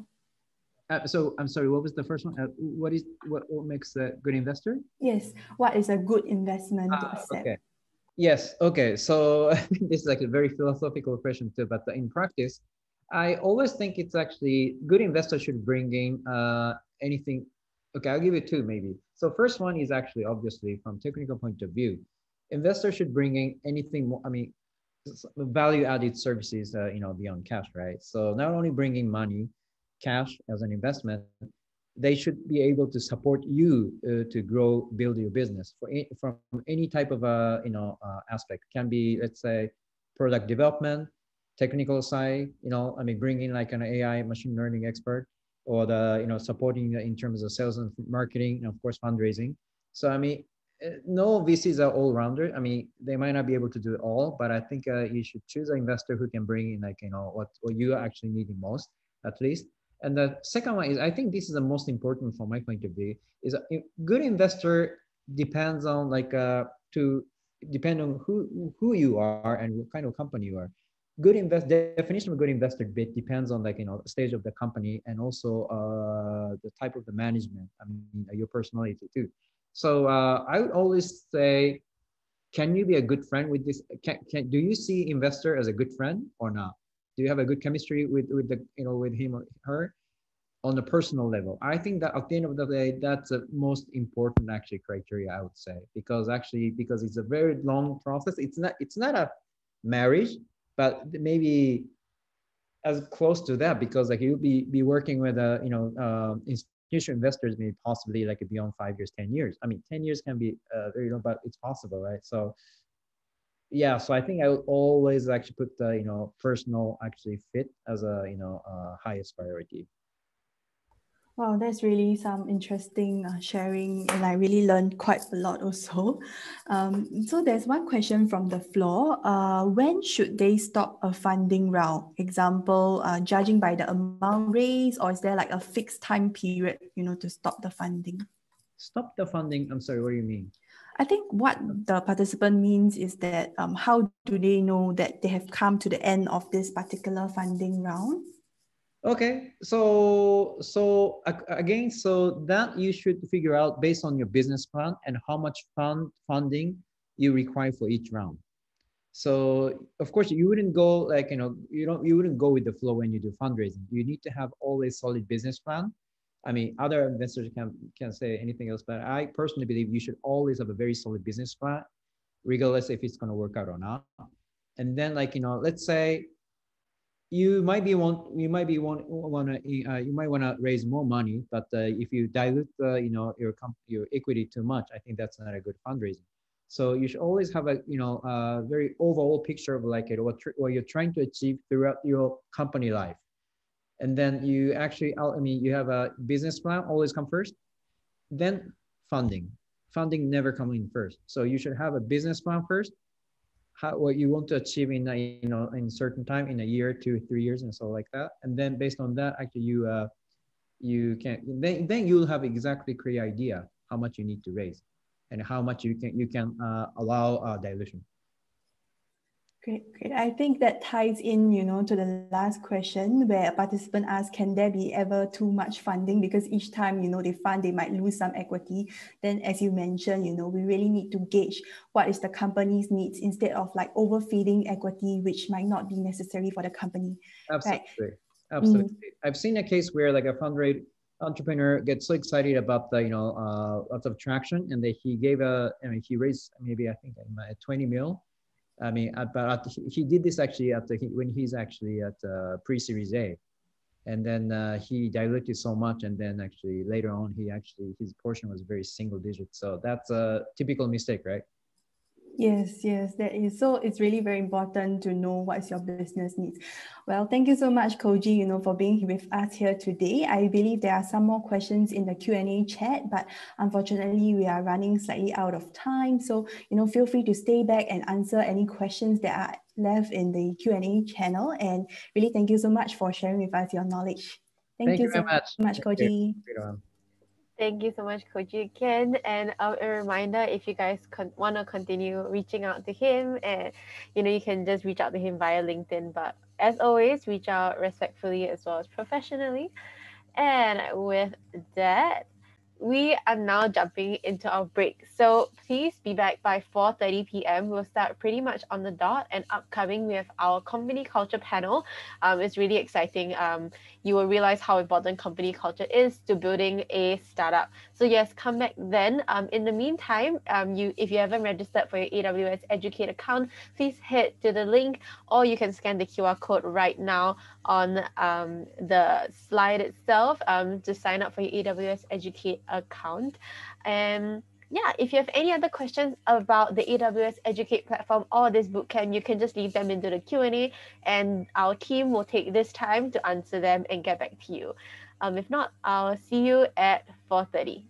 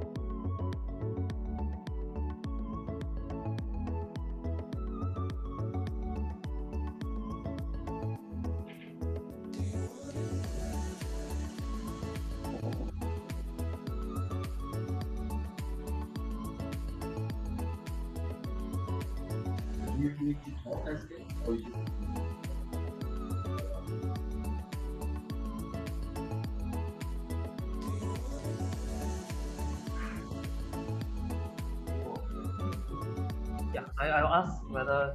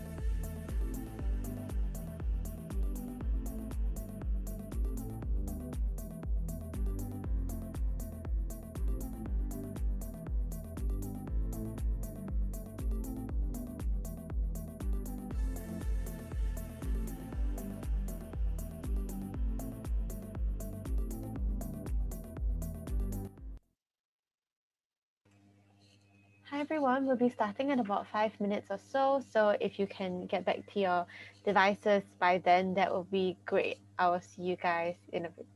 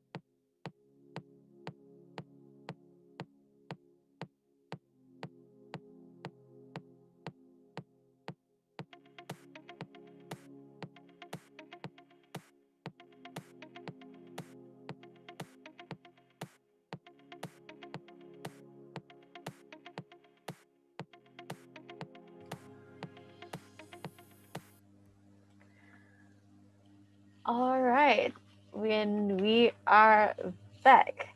Um, yes, so just jumping straight into our next panel on company culture, I'll just like to very shortly introduce our speakers for today. We have Dennis, the founder of Legacy and investor at eLaunchpad, as well as Grace Tsai, CEO and co-founder of Foundate Innovation. And yes, they are both here right now. And moderating this panel will be Valerie again from AWS. So yes, Valerie, over to you. Hi, Dennis. Hi, Grace. Um, before we begin our panel, just a gentle reminder to our participants, you know, if you have any questions, feel free to leave your questions in the Q&A so that it's easier for us to look at the questions and answer them. All right, so without further ado, Dennis and Grace, could you uh, take turns to introduce yourself? Sure. Um, Grace, do you want to go first? Go for it. Okay. Um, so hi everyone, I'm I'm Dennis. So I'm the founder of Legacy. I'm also invested in eLaunchpad, uh, which is um, so Legacy is actually a corporate service firm where we provide like um, um you know basically the corporate compliance, accounting, and also uh, startup advisory. Like uh, we have quite a bit of startups uh, going from from like uh, angel round sort to like Series A or post Series A really. Um, and then basically we have offices across uh, uh, a few emerging market countries also like Vietnam. Uh, we are looking at setting up in uh, Myanmar soon and uh, basically headquartered in Singapore, you know. And then as for it, like, you know, uh, why I got into it is because like eLaunchpad, the, the thing about it is like, uh, it's a tech company. I always wanted to, you know, run a tech, tech company also. So uh, coming as an investor, right, um, really is more towards like, um, to understand also, to see how I can help the, the co-founders to build up their, their business, uh, you know. So yeah, that's basically it. Yeah. Over to you, Grace. Hi everyone, great to see around 70 plus of you here. Um, I'm Grace, I'm the founder and CEO of uh, Founding Innovation. We are an innovation consult, corporate innovation agency, but that also has co-working um, campuses. Um, I'm personally also a venture capitalist, um, leading an early stage tech fund that invests in early stage tech ventures. And um, apart from that, I'm also a mom to a, a 15 month old girl and an ecosystem builder and has been part of Singapore's startup ecosystem since 2012. So great to have Denise and Grace with us here today. So um, without further ado, uh, Grace, would you like to share more about, you know, what is company culture in your perspective, followed by Denise? Sure. So, um, company culture. I mean, I won't give you the the literature, you know, definition, but um, it is the unspoken norm, right? It is the unspoken leader of how one um, decides, what one decides when you have competing um, choices or commitments, for example. So the culture of the company would propel you to choose decision A over decision B. And especially when these decisions are very nuanced, they're competing in nature, and you're conflicted. So a good culture will make the decision quite clear. Um, and this could be small decisions, it could be big decisions, um, including, you know, how we speak to each other and um, what we wear, but also bigger things like do we make this ethical decision or do we have this type of customer or when do we pay our suppliers and how do we treat partners, things like that. So it's the invisible leader, I feel. Wow, that's that's great. Um, well, for me is that you know when people ask me about company culture, right? It does remind me of um, this graphic I've ever seen before It's like people ask about what's branding, right? So in that sense, company culture is to me is similar to branding in that sense. It's like um, you know, it's some, some form of like a gut feeling. When you work for some like when you work in the in, in the company and stuff, right? What is that gut feeling you have? Uh, that, that's very similar to what's branding in that sense also, right? The gut spending that you have when you work in the company, what you can do, then what's the gut spending you have from that, you know? So it's like it's like an instinct, and similarly to what Grace said, um, it's not tangible. It's not something you set as a rule. It's unspoken, yes. And that's why it's very much also, is it a is it a gut thing? It's not really a brain thing like that. You know, is it logical? Sometimes it may not be logical from different people's perspective. Right. So I, I think I did like to draw it that way. Yeah. It's more like a gut feeling thing, right? But it's also a accumulation of many things, uh, many small decisions, like you know, Grace say also like really bringing together and then that makes that you know that makes that that that culture in there right yeah so yeah Right. So with what Grace and what Dennis said, right? So company culture is really about competing choices and having the gut feeling, you know, to make the right decision. So um, just wondering, like, have you encountered like any good potential examples that you remember about like great company cultures, in, even in startups or even in like MNCs? Uh, maybe Grace can go first. Grace, I think you're muted. Uh, so when you are, it depends where you are at in life and your your career. But um, if you're just starting out, for example, if you want to be um, an entrepreneur, I think it is um, important to find a role model um, company or, or, or leader and try to understand the culture that she or he creates in, in, in that team. Um, if you have already worked in a company before or a few companies before, also take note of the things that you didn't like and why. And um, sometimes knowing what we don't want and sometimes knowing what we what we think is not good is equally as important um, to guide to guide how you would think. So I won't give an easy example as to saying, oh, Netflix has a great culture because it has a, you know, a, a no take, no leave policy culture, which means you don't have official leave. Anyone can take any leave anytime. Look, it might work in Silicon Valley in that kind of culture. It might not work here i don't know right so i'm not going to give that simple sort of this company has a great culture it, it has to work for your people um, at the end they are your customers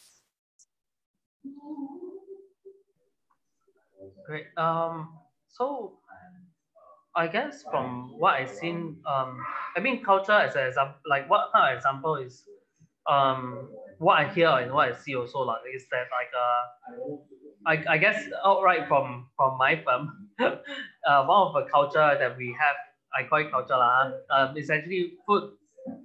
Food is the the thing that brings us along, right? And of course, uh, you know, I my, my my team is quite diverse, right? So at one moment, I, I remember that at one time I have I have staff that cannot eat anything than chicken, like like not even fish and stuff. Like okay, so that's one.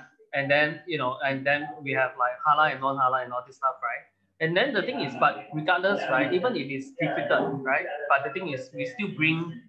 Basically, we just you know still make it happen that every week you know, like uh, every Friday, we're gonna come together, we're gonna eat, and we're gonna talk and stuff like that, right? So the thing is like, uh, if you were to say example that, that that that seems like an example of like, you know, like coming together for a certain timing for for things is is actually also one like culture that can be cultivated, right? So, but that's one. Another one was that um, actually this is also just very recent. Like this morning, I was interviewing for someone new, like um and you know like I was interviewing him and saying that you know um uh, uh about his stuff. And then before he left and then he was saying that you know what? Uh I uh, he told me that his his current boss treat him very well. And that like one of the the thing is like I asked him do you take leave to come for the interview? You know? Okay I'm not gonna say name I cannot okay right? So the thing is you take leave before before you come here? I say leave? No I didn't take any leave. Um we all work from home. I cleared my emails and then you know I can go wherever I want and I was like, well, okay, then that means boss trusts you a lot. And he's actually quite junior in the firm, right? It was a firm, I think it has about 20-ish people. Lah. Yeah, he has like a group of clique of five people in his department. So, I mean, that I felt that was a very good example. Like, even if a company reaches a certain size, right, some things can be seen just by how the employee talk about, you know, that about the firm, about the practice, and then he to him is like it's a good culture company right? So so the thing is flexibility also is another amazing one. Uh, you know, flexibility, uh, like uh, example of like how culture is being made up and you know practice. Mm, I totally agree with all your points. Like personally, I also feel that you know trust and flexibility given by the boss is actually something very important that the employee will value. Uh, personally, for me, over like employee perks like um, I would prefer that you know the boss trust in our work, you know, give us like um, good um, like praise on the back, you know, whenever we complete something, uh, even something small. I think all this really keeps the employees' motivation uh, at a very high level. Yeah, especially in startups where you know everyone really has to put in the grind to get the startup up and running right? So I think the next question that we have is really about, um, you know, who should be the champion in the company culture, right? Is it like more of the HR role or is it like more of the uh, leader, like the CEO role? Um, would you like to share more about that, Grace? I mean, if you're a startup, you'll be lucky to have a HR department.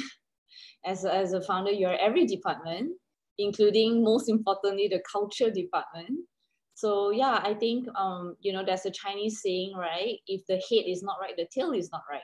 So uh, everything starts from the top. And the funny thing is, as entrepreneurs and as founders, we always build an extension of ourselves, no matter we like it or not, with all our good and bad.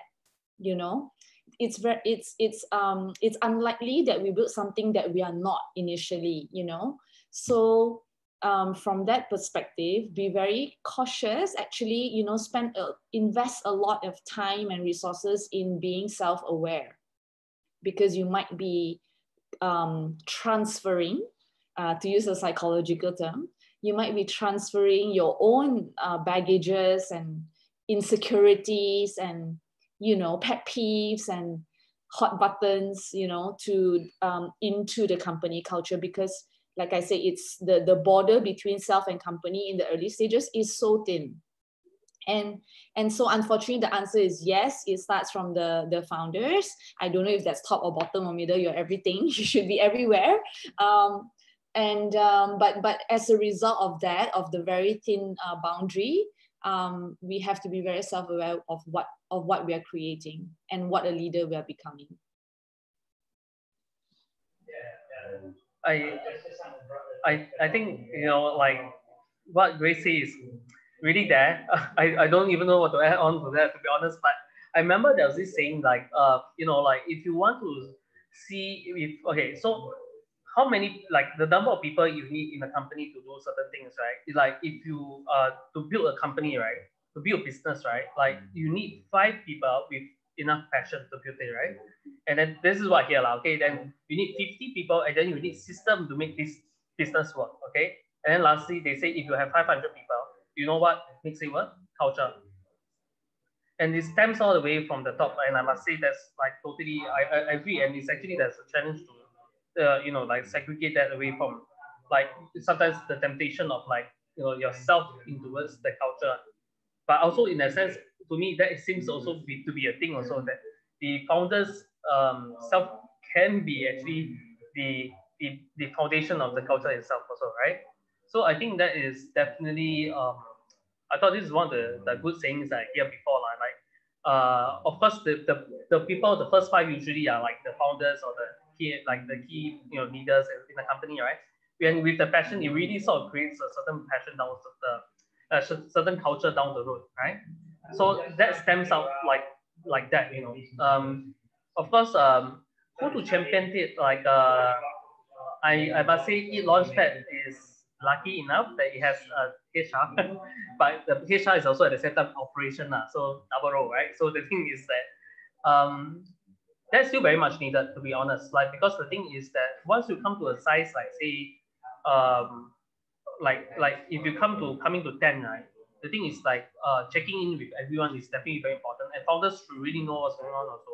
But like um someone to help to champion this like so-called HR thing right? HR in a sense is more of like trying to create a system from there really like so take that take that guideline that I say five percent maybe you don't need the system but really need to push first right? But once you come near to 50, right, if you don't even have a system, then that's a, that's a problem. So the thing is that the HR actually is actually someone that draws up the frame or that, you know, that, that framework and stuff like that to help towards managing a 50, right? And then once more than that, then of course the system is not enough. It is like what why do you even like why why does everyone come in? What's the firm for and all this stuff is more than system really by then. Okay, so I think that's my point. Yeah. Mm. So to summarize both Grace and Denise's point is that, um, you know, at the very beginning, the founder's role is very critical because he or she will be the role model for all the other employees. But, you know, as the startup gets bigger and bigger, then of course there's a need for a system to be in place so that, you know, everyone can follow the rules, even, though like there needs to be some flexibility. So we have a question from the floor.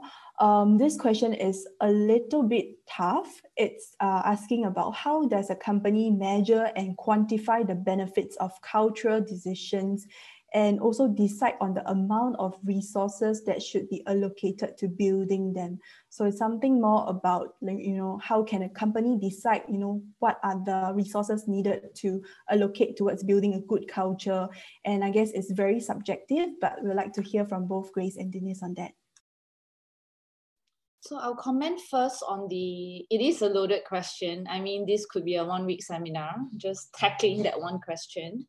Um, actually, I'd like to see who, who asked that later on. But um, I would say in terms of resources, um, it is not the money part in the form of a resource. It is the time part that that you uh, one needs to put in to form um, a great culture. Um, of course, the money part comes in when, let's say, you know, it's part of the culture to have fun and therefore throw parties or, you know, have biannual retreats and all that. So you do need to budget for those things. But um, it is the, you know, I think uh, Valerie said that before, right? It is the small little conscious and unconscious actions and words by um, the bosses and by each other really that really matter the most you know i i've i've been in cultures where the most luxurious retreats and parties cannot um, supersede you know a hurtful word. For example that is like not respectful and not you know aligned with the company culture and that feels very much more a betrayal to to the employees. Um, versus you know not buying them nice holidays or trips or anything like that. So i would actually focus the resources in the daily actions the daily words what you say and not say what you do and not do um, I call it internal networking. You know, um, you know, I think a lot of um, entrepreneurs um, often look outwards. You know, very customer centric, always look at market trends, paranoid about competitors, networking, building, building business development leads. But sometimes we forget that external networking is important, but internal networking is even more important.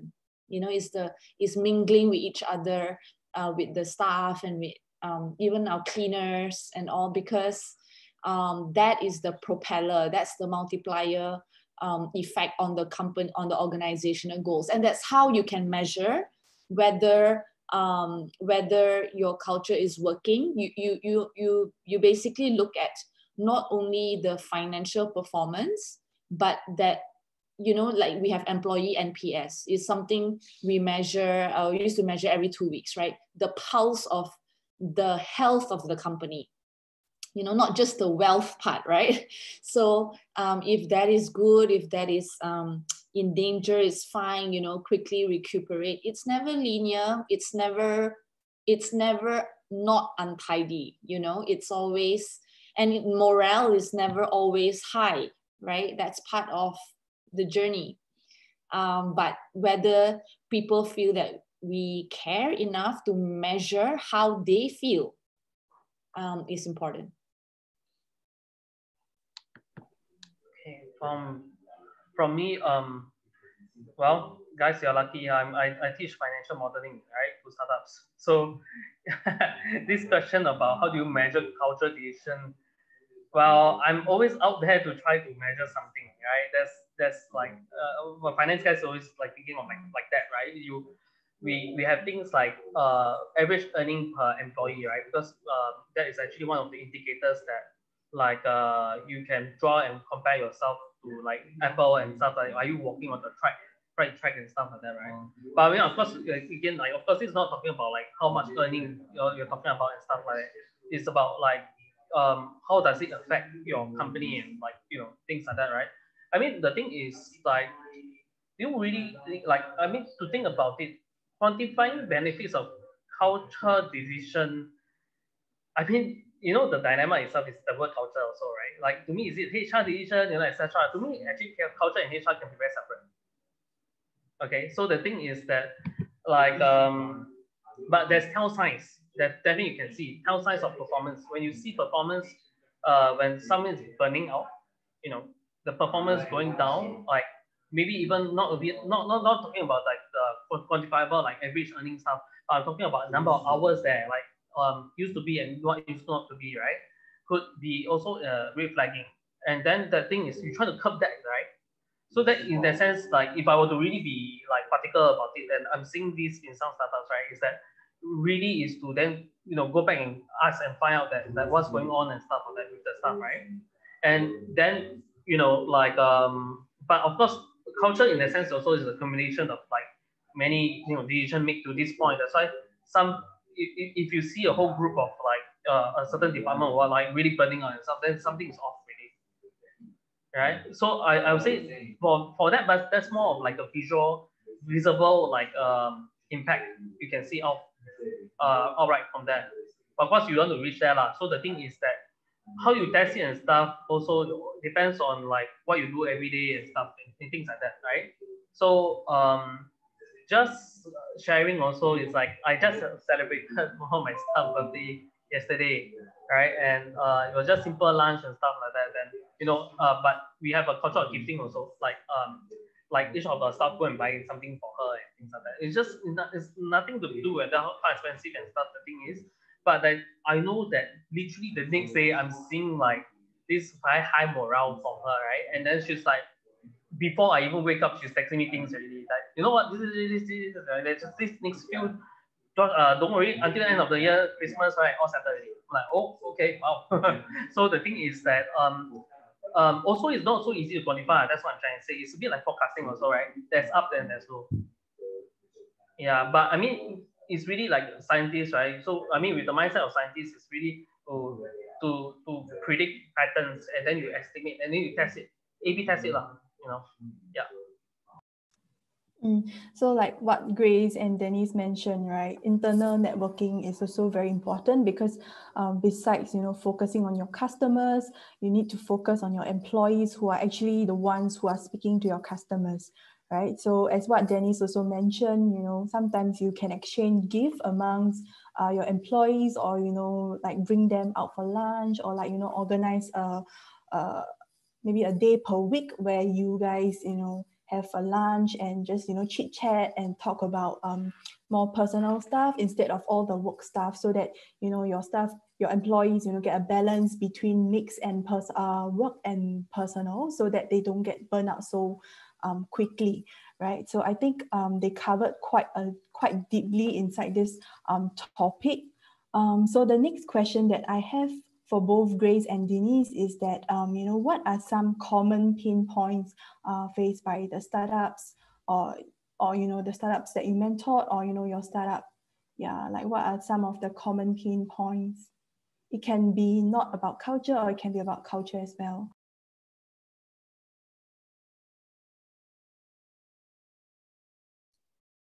That's a very uh, broad, anything can be a pain from finance to customer to people. Do you have a more specific like what um then maybe more about people. I think yeah i think it will suit this um panel more. Uh, maybe some pain points that you feel about um, people management like you know some patterns that you spotted whereby you know people are not really delivering their work or you know they are having some issues that you know you can elaborate more on that yeah, so um, I think it's especially challenging for first time boss, okay, or for first time entrepreneur, because um, you are leading the team, but you're also leading yourself, and you're leading, you know, sometimes a community, your customers, you have a public persona, for example. So it's many, many hats at the same time. So um, the that that self sustaining not burning out i think is a is a big one right? Um and um like my personal journey like i have burned out twice before in the first three years. And the first time when i burned out i didn't even know what that word was.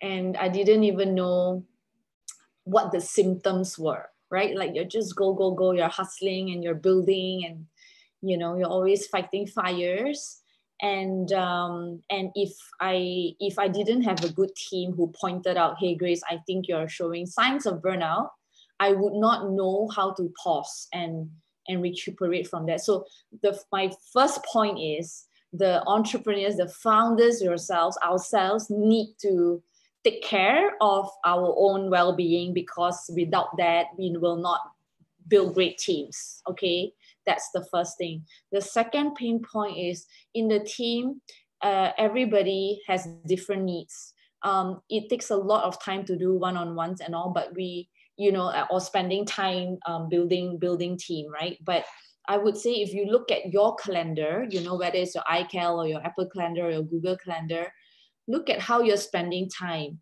I would recommend that 30% of your time um, should be with your team um, in a week, right? So it's a good audit to, to do, you know, how are you balancing the design of your of your days because that determines where you spend your attention, right? Time equals attention equals everything else, right?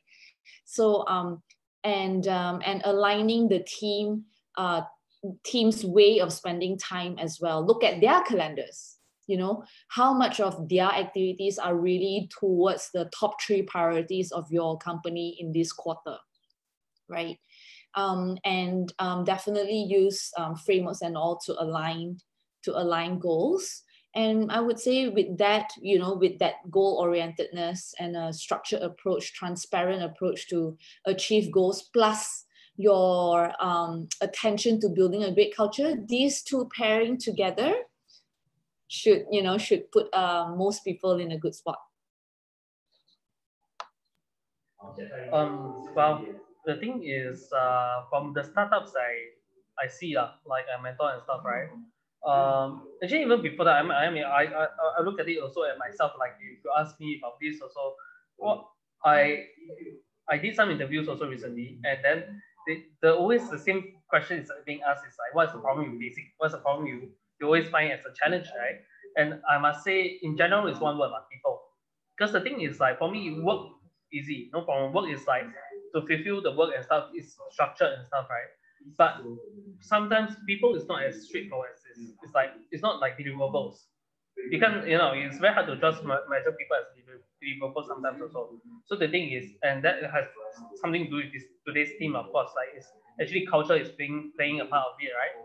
And then the thing is that, and this may always be the case that uh, might be the, the the problem that like I mean basically the challenge that you always face, even is, as you grow the business and stuff, is always back to people. Why?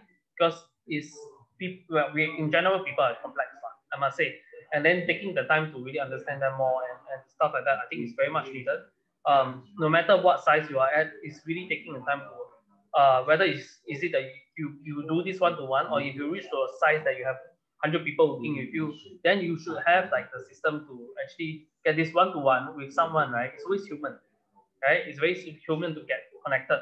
And I think that's very essential, right? So um, yeah, but touching really on the point about like the startup, uh, that the common problem that the startup see is actually starting the, the, the first team, the first key leaders.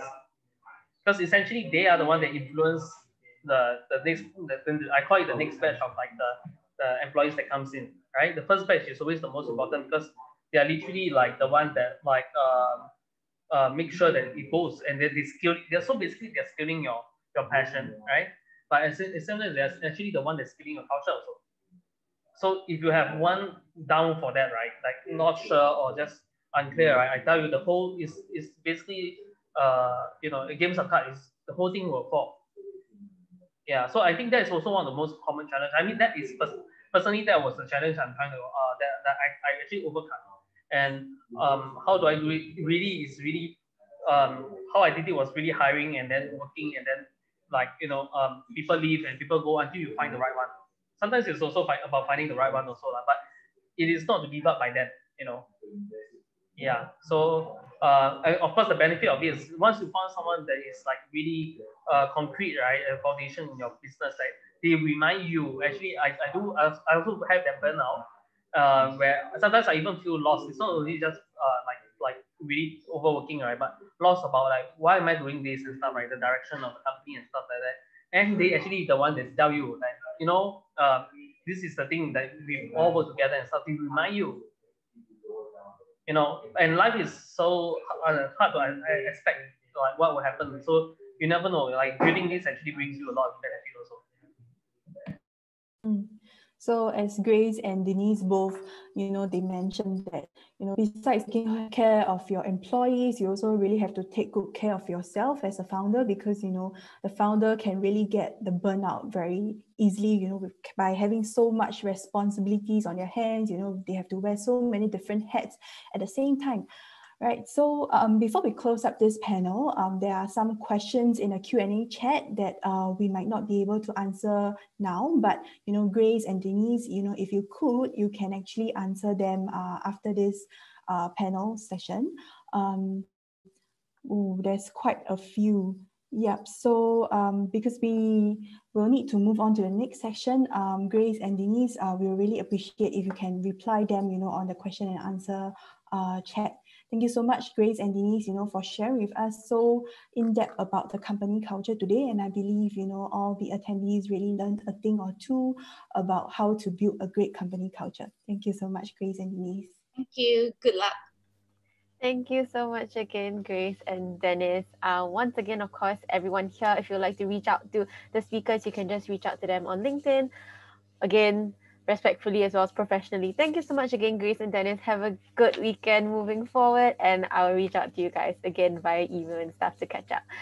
Okay, so jumping into the very last part of our session, which I'm sure a lot of you have been asking about and you know wondering about. So before we head to that, let's just co- go back in time a little bit and look at what we've covered. So we've covered, of, of course, the six topics in the AWS Educate Startup module, getting started as a founder, customer discovery and development, as well as building your MVP on the first day. And today we looked at legal fundamentals, how to fundraise, as well as growth strategies and culture. So tomorrow, of course, excuse me, there will be the AWS Virtual Career Fair. Um, the link will be provided just in a bit. And of course, post bootcamp, we you guys will get the exclusive Scape X AWS t-shirt and certificate if you complete the startup badge on the AWS Educate platform. And of course, here is how you can redeem your t-shirt and certificate. So you can feel free to take screenshots, photos, whatever you need, but don't worry, all this information will be sent to you via email as well. So step one, you have to complete the startup module via your AWS Educate account. That's the most important thing to make you able to get your t-shirt and certificate. Second step, you have to head to the Scape Hub quarters, which is of course located at the Scape building. Yes, the one that is at Somerset MRT, close to there. Um, you can come during weekdays, obviously excluding public holidays, from 9 a.m. to 12 p.m. or 1 p.m. to 6 p.m. There will be someone there at Scape that will help you. You can look, um, it will either be myself or my two other colleagues, Jelina or Alice. We will, somebody will be there at these times. Don't worry about it. And then the third step, of course, is on site itself. You have to log into your AWS Educate account and show us your startup badge and that you have completed the whole module. So the badge will look something like that. Um, and yeah, so we would preferably not accept screenshots because we're not sure if it's your own. Um, we would prefer if you log on and then you show us that it is indeed your account so that we can get the t-shirt and certificate to yourself. The collection is available from 23rd November. So from next Monday onwards, we won't be open today, unfortunately, because it's already the end of day. Um, all the way to the end of the year from 31st December to 2020, both quantity and sizes while stocks last as well. So um, please come down as quick as possible if you want to secure your particular size and to ensure that you definitely have a t-shirt for yourself. Um, yeah, so all of this will be provided to you via email once again. So don't worry about if you forget a certain thing. So the address and all our opening hours will be there for you. And if you have any inquiries about this whole process, please drop us an, an email or message at hubquarters at scape.sg. Once again, if you have any questions about the AWS Educate platform, just that, do not email hubquarters@scape.sg because we don't have the access backend. Please drop an email to the Amazon, the AWS Educate team um, the, their email as well will be provided to you in this email that will be sent out to you after this event. All right, and so the next thing that I think you guys are looking forward to is the virtual career fair. So here's the link for your use. The QR code is also mapped to this link as well. And once again, I will be passing the time back to Valerie. Uh, if you are here, Valerie, to share more about the virtual career fair. Yes, I see you. Okay, and I will just stop my share screen. The link will still be in the chat if you need to get back to it. And if you have any questions, yes, please put them in the Q&A so I can get back to you as well, especially about the shirt and stuff. All right, okay. Thanks, yep, so thank you, Natalie. So um, this virtual career fair is actually happening tomorrow, Saturday from 10 a.m. to 4 p.m. So if you click onto the link, it will lead you to this Brazen Career Fair. Right? So here are all the exhibitors that are coming on board, which I will show you later. So you can actually speak to um, all of them, you know, there's no limits on how many companies you can speak to, but you know, each for each booth, you can only speak like about 10 minutes to the representative. Okay, so to register, you can just click register now and you'll be brought to this page over here. Yep, so this event registration page where you can put your city, country, and it's also important to upload your resume because when you are chatting with the representative, which is like the HR personnel, they will be able to see your represent uh, your resume on the site as well. So they can simultaneously uh, evaluate you as a candidate, right? You can link your LinkedIn here, which will be good because then they can, you know, network with you after that as well. So yep, here are some of the questions that we'll be asking you to fill up with. And yep, so if you, after your registration, you'll be brought to this event lobby. So for now, you will not be able to chat with the representative yet, but tomorrow at 10 o'clock when the event goes live, you'll be able to chat with them, right? So as you can see here are all the different booths. So to chat with the representative, all you need to do is just click on enter and then you'll be brought to the booth itself. Right, so all these representatives are like HR personnel or branding person or recruiters from the company, you know, that can potentially hire you. So this is a brief introduction about the company. And then here are the different like opportunities available. So like for internships and recent graduates, you can click on this link. For early professionals, you can click on this link right? So these are all the representatives here, but just to note is that um, you'll be automatically assigned to a particular representative. So you cannot choose which representative you like to speak to. Everything is automatically assigned, right? So you can find out more about the company through the social media page here.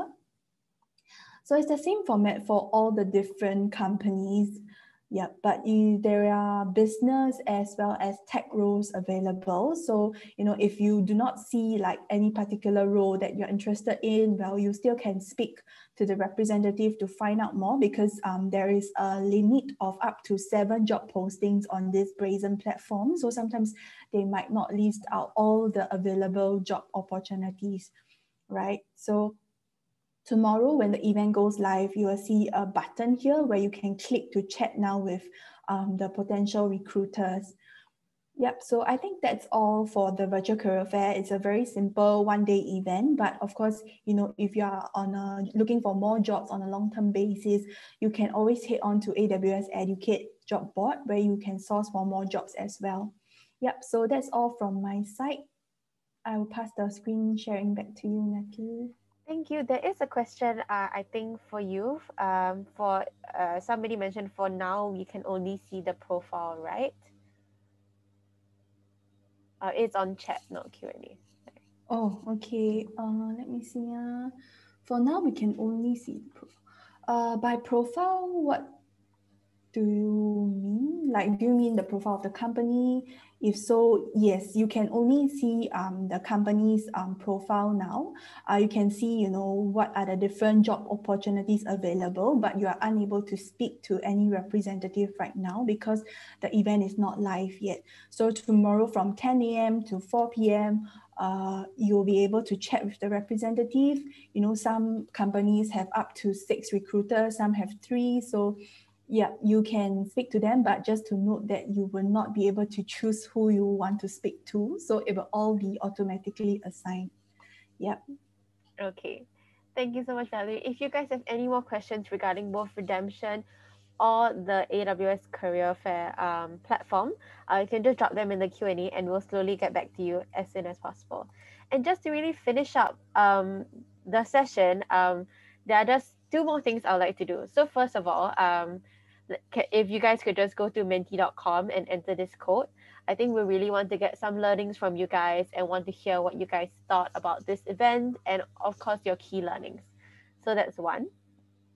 Um, and the second one, I will be launching a poll in a bit just to get, you know, your thoughts on today's session, yesterday's session, as well as the whole session as a whole, so that we can really get more insights from you guys, which is which are our attendees.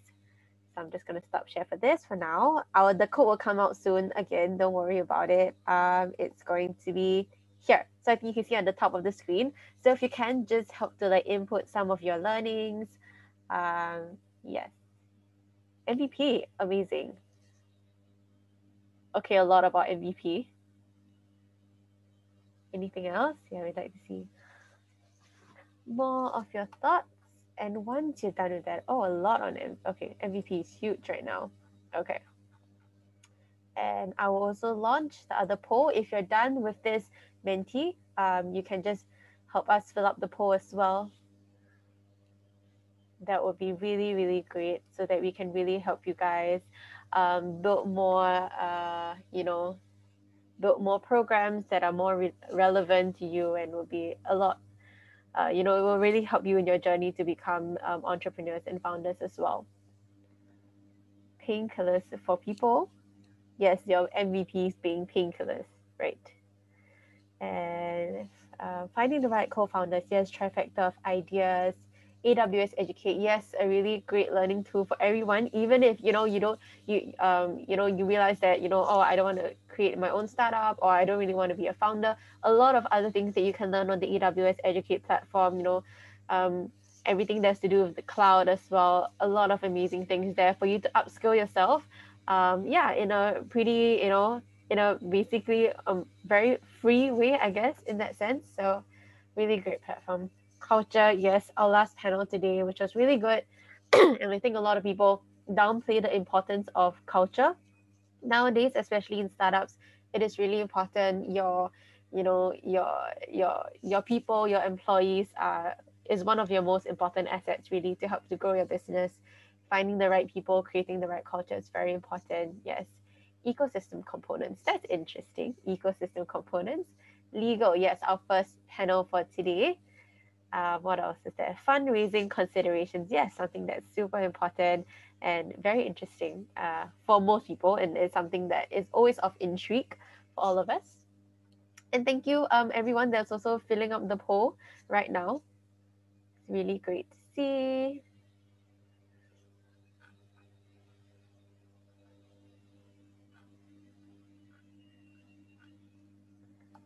Awesome. All right. And I think so it's kind of, you know, settled down already. Thank you so much for your learnings. And it's really nice to see that, you know, you have taken away some some things uh, from this uh, webinar. It really comes out from your key learnings. And it's great to see that, you know, MVP is something that you guys uh, have really clicked on and have really taken away from this particular session. Um, yes, I see something to chat. Thank you for the past two days. Thank you guys for hitting down as well. Um, I've really enjoyed speaking to all of you guys um, throughout these past two days. Um, please feel free to connect um, with us on LinkedIn as well at Scape SG.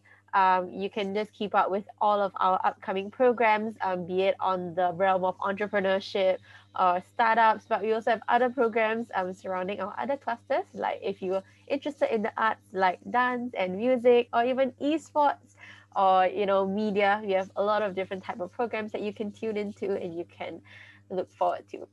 So thank you so much, guys, for your learnings. Um, I think it's this this view is really nice for me to have. Um, I've given you guys about three minutes to post. I think those have polled probably already finished polling, so I'm just going to end it. Thank you so much.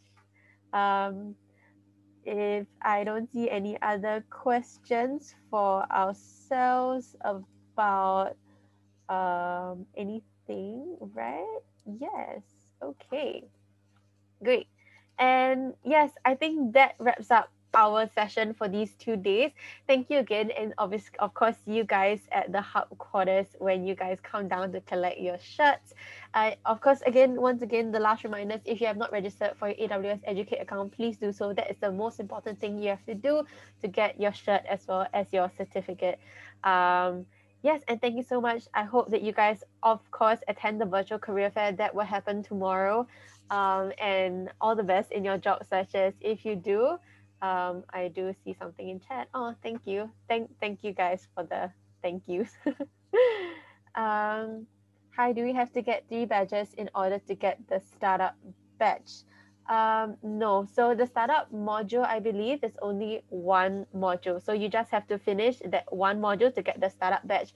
However, um, please do um, continue to, you know, do the other modules to really, you know, better your learning and increase your learning. Um, it always helps, you know, um, and if you would like to speak to the AWS Educate team more about the other badges, please do reach out to them.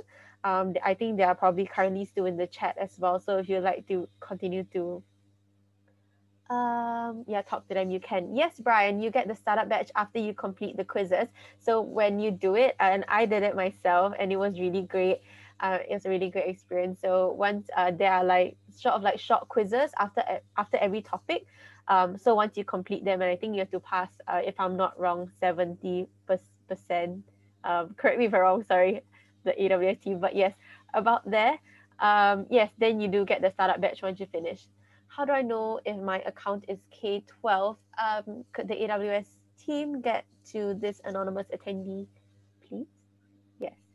Yes, um, please continue dropping your questions um, on the Valerie from AWS is getting back to you. Yes, continue to drop your questions. If not, yes, we will see you at the hub quarters. You guys can slowly drop off um, this session. And yes, and a post event email will be sent out to you with all the details. So don't worry about missing out on anything. Thank you guys. Do we have to sign up for the AWS Educate? If you guys already have an AWS Educate account, I believe you just have to finish the startup badge um, just to get the t-shirts and the set. So don't worry about if you had an account prior. We just need to see that you get the, the startup badge. Uh, yeah. I'll clear this question. If I'm wrong, the AWS team, it's going to be an answer. You guys can just add on.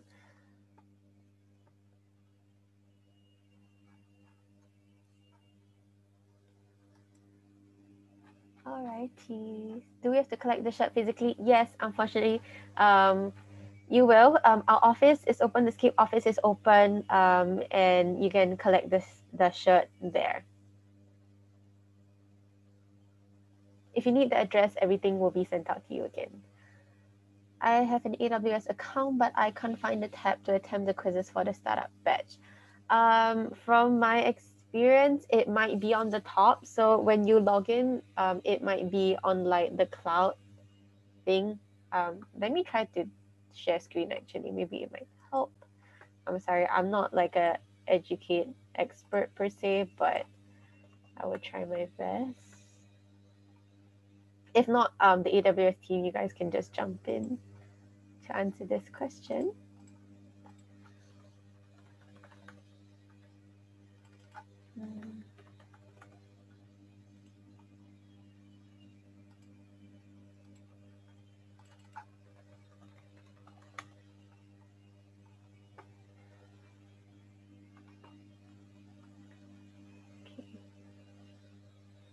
Um, all right, I'm just going to share my screen here. Um, so for mine, um, I also just have these three badges, but they aren't these ones. Um, what I did was I went to advanced learning and the startup badge is here. Yeah, because I already completed it. Um, I already have it. Um, so I can't press start. So uh, you guys can just click the start button to finish it. And once you're done, I believe, um, oh, it's not here. It's um, yeah, it's somewhere. Yes, yes. That's how you can access the AWS startup badge.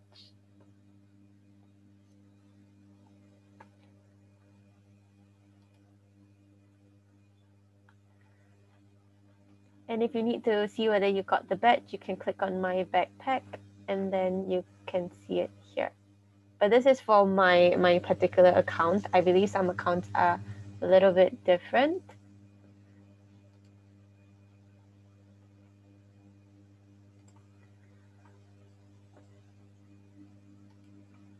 No worries, Ganting. It was nice having you. Thank you for the questions. Yes, please drop us any more questions if you have. I will keep this um, webinar open um, till about 5.30 or so. By 5.30, I'll just slowly um, kick everybody out. So yeah, if you're done, you can just take your leave. No worries about it. Um, yes, and thank you guys again for coming and drop. Once again, just keep dropping any questions if you have. Um, yeah.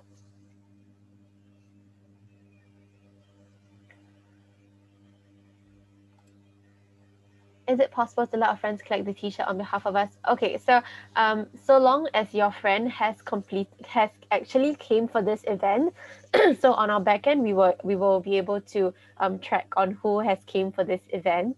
Um uh tomorrow schedule a link okay yeah I, I will repeat it joel give me a minute. Um yeah so uh, first of all they have to have came for this event so actually like logged on and attend this, this webinar um, the second, they of course have to finish the startup badge. So they, their account has to show that they have completed. If you can see my screen, um, I've gotten the batch. So we have to be able to see something like this. Um, and then the third one is they have to give you access to their account because we would like to see you like log in to their account and then show it instead of just showing a screenshot. That would be the most preferable um, so that there isn't any um, disputes on whether they actually have the badge. So that would be the best. And so yes, in that sense, it is possible for you to collect for your friends so long as they have all these three um, criteria set down. Okay, Joel, I'll just repeat the part on um, tomorrow's schedule. Um, just stop share. Um, give me a minute. Okay. So, okay, I'll go through the redemption first. So for the redemption, um, people ha- you have to first of all complete your startup module via your AWS Educate account. So once you have completed that, and then you can head down to the Scape Hub quarters, which is located within the Scape building, the one near Somerset. Um, and you have to come during weekdays um, from 9 a.m. to 12 p.m. and 1 p.m. to 6 p.m. Um, this is, of course, excluding public holidays. Um, so once you're there, you have to log in to your AWS Educate account and show us that you have this particular badge. So this particular AWS startup badge. If you don't have it, we are unable to give you the shirt and certificate. Um, so we would prefer for you to log into your account instead of just show us a screenshot so we can verify that um, you have that account. Yeah. Um, so yes, collection will be available from 23rd November. So that's next week, Monday, all the way to the end of the year. So um, while, uh, while stocks last, because um, the quantity and sizes are limited. So once you finish your batch, please um, like get to get to hub quarters as soon as you can so that you can secure your the size that you want. Um, yeah, and all of this will be provided to you guys via email. Don't worry about it. I will send an email out right after this, or after I close this webinar, so don't worry about it. And you can drop us an email as well regarding the t-shirt and certificate collection. For the virtual career fair, um, this is the link. Um, it's somewhere in chat floating around, or you can just scan the QR code. The link will also be sent via the email, so don't worry about missing out on that or you know uh, forgetting this particular link.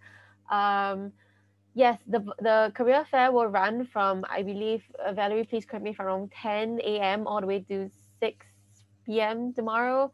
Yes, so it, it's a it's a you know come as you come as you want kind of model. Of of course, we would like you to spend a few hours there to really get to know the companies and to really make the most out of this career fair. So yes, um, I hope I did cover that, Joel. If you have any other questions, um, you can just drop it back. Um, I have an AWS account. Okay, I did answer this already. Is there a dress code for the career fair? No, I don't believe so. It is a virtual career fair. Um, so of I, I I don't think there's a there's a video camera. I think everything is based on like chatting and like chat box, chat bots and boxes. Sorry, there's no bots. There are real people there. Chat boxes. Yes. So um, no dress code. I think yes. Oh, to want... add on to that, right? Um, actually, if we have enabled the video and audio function, so if the HR personnel wants to uh, have a video and audio chat with you, actually they can invite you to a video audio chat. Uh, so usually, I think what most people do is that since everyone is working from home now, they will just like wear a formal shirt on the top, and for the bottoms, you can wear your Bermudas or you know your shorts. yeah. yeah. Thank you so much, Betty, for coming in. um yeah so be be comfortable but be presentable i guess just in case um you know any employers want to talk to you. Um so for those people that have oh uh um sorry king Yu, um aws team please get to king Yu's question. Thank you so much um, for Felix and Kwan Hua, um, you guys did mention that you didn't join yesterday's webinar or you kind of missed the webinar. Um, so long as we have your name on one of the webinars and we see that you have attended or made the effort to attend our webinars, uh, don't worry, you will still be eligible. Unless you really didn't attend at all, then we are unable to provide you with the t-shirt answer. Yes. Thank you, Valerie, for clearing that. Okay, um, please drop any more. Oh, sorry, 10 a.m. to 4 p.m. tomorrow. Sorry, guys, 10 a.m. to 4 p.m. virtual career fair. I got my times wrong. Yes, please go during that time and not 4 p.m. to 6 p.m. Okay, if you guys have no more questions, um, you guys can go. So I know that um, there are no more clarifications that needed that needs to be made. But yes, if anything, um, please just drop us an email, or if not, if you want to reach me really quick, uh the Scape team is of course available on LinkedIn. So is the AWS team. You can connect with us there. I have a question. Thank you for this event. Thank you too. Okay. Um, Valerie, do you need me to share this my my screen again?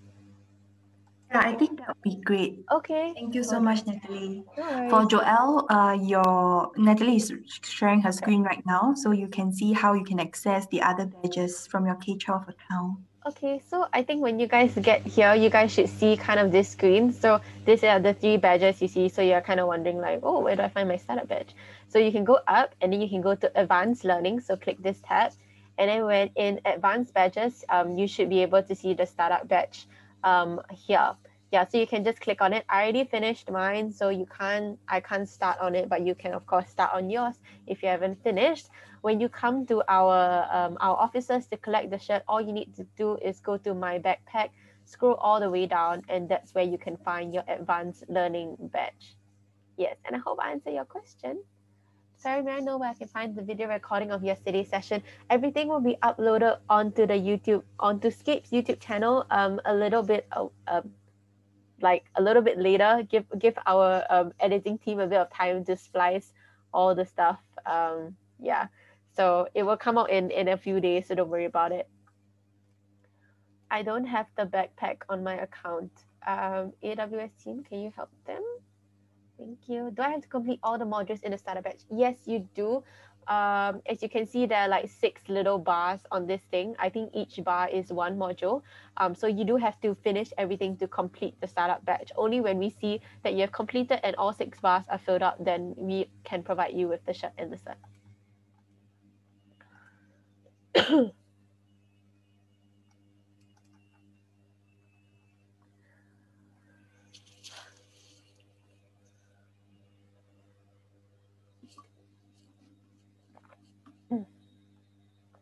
Okay, it's one minute to 5.30. Um, please put your final questions um, on the Q&A if you do have any.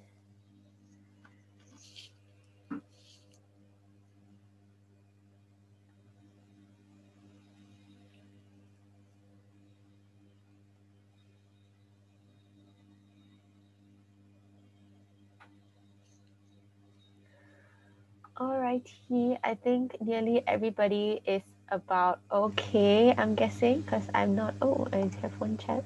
Okay, that's Valerie. All right, um, I think that's good. I think everybody is okay, hopefully, with everything. If, of course, if you have any other questions, please, um, you can drop us, you can drop Scape an email or a message at our email if you have anything to do with regards to t-shirt collection or certificates.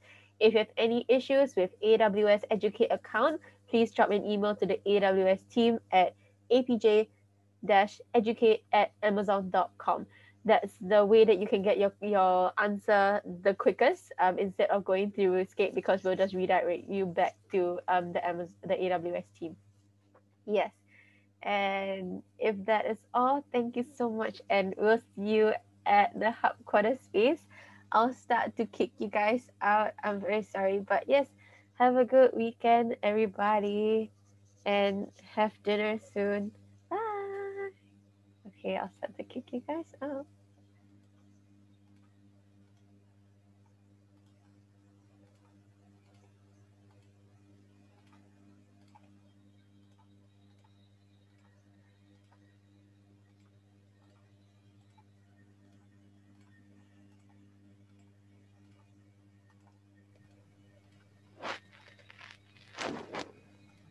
Hello, Alice. Hello. Sorry, I'm still removing some people. No, no, you just Give me a minute.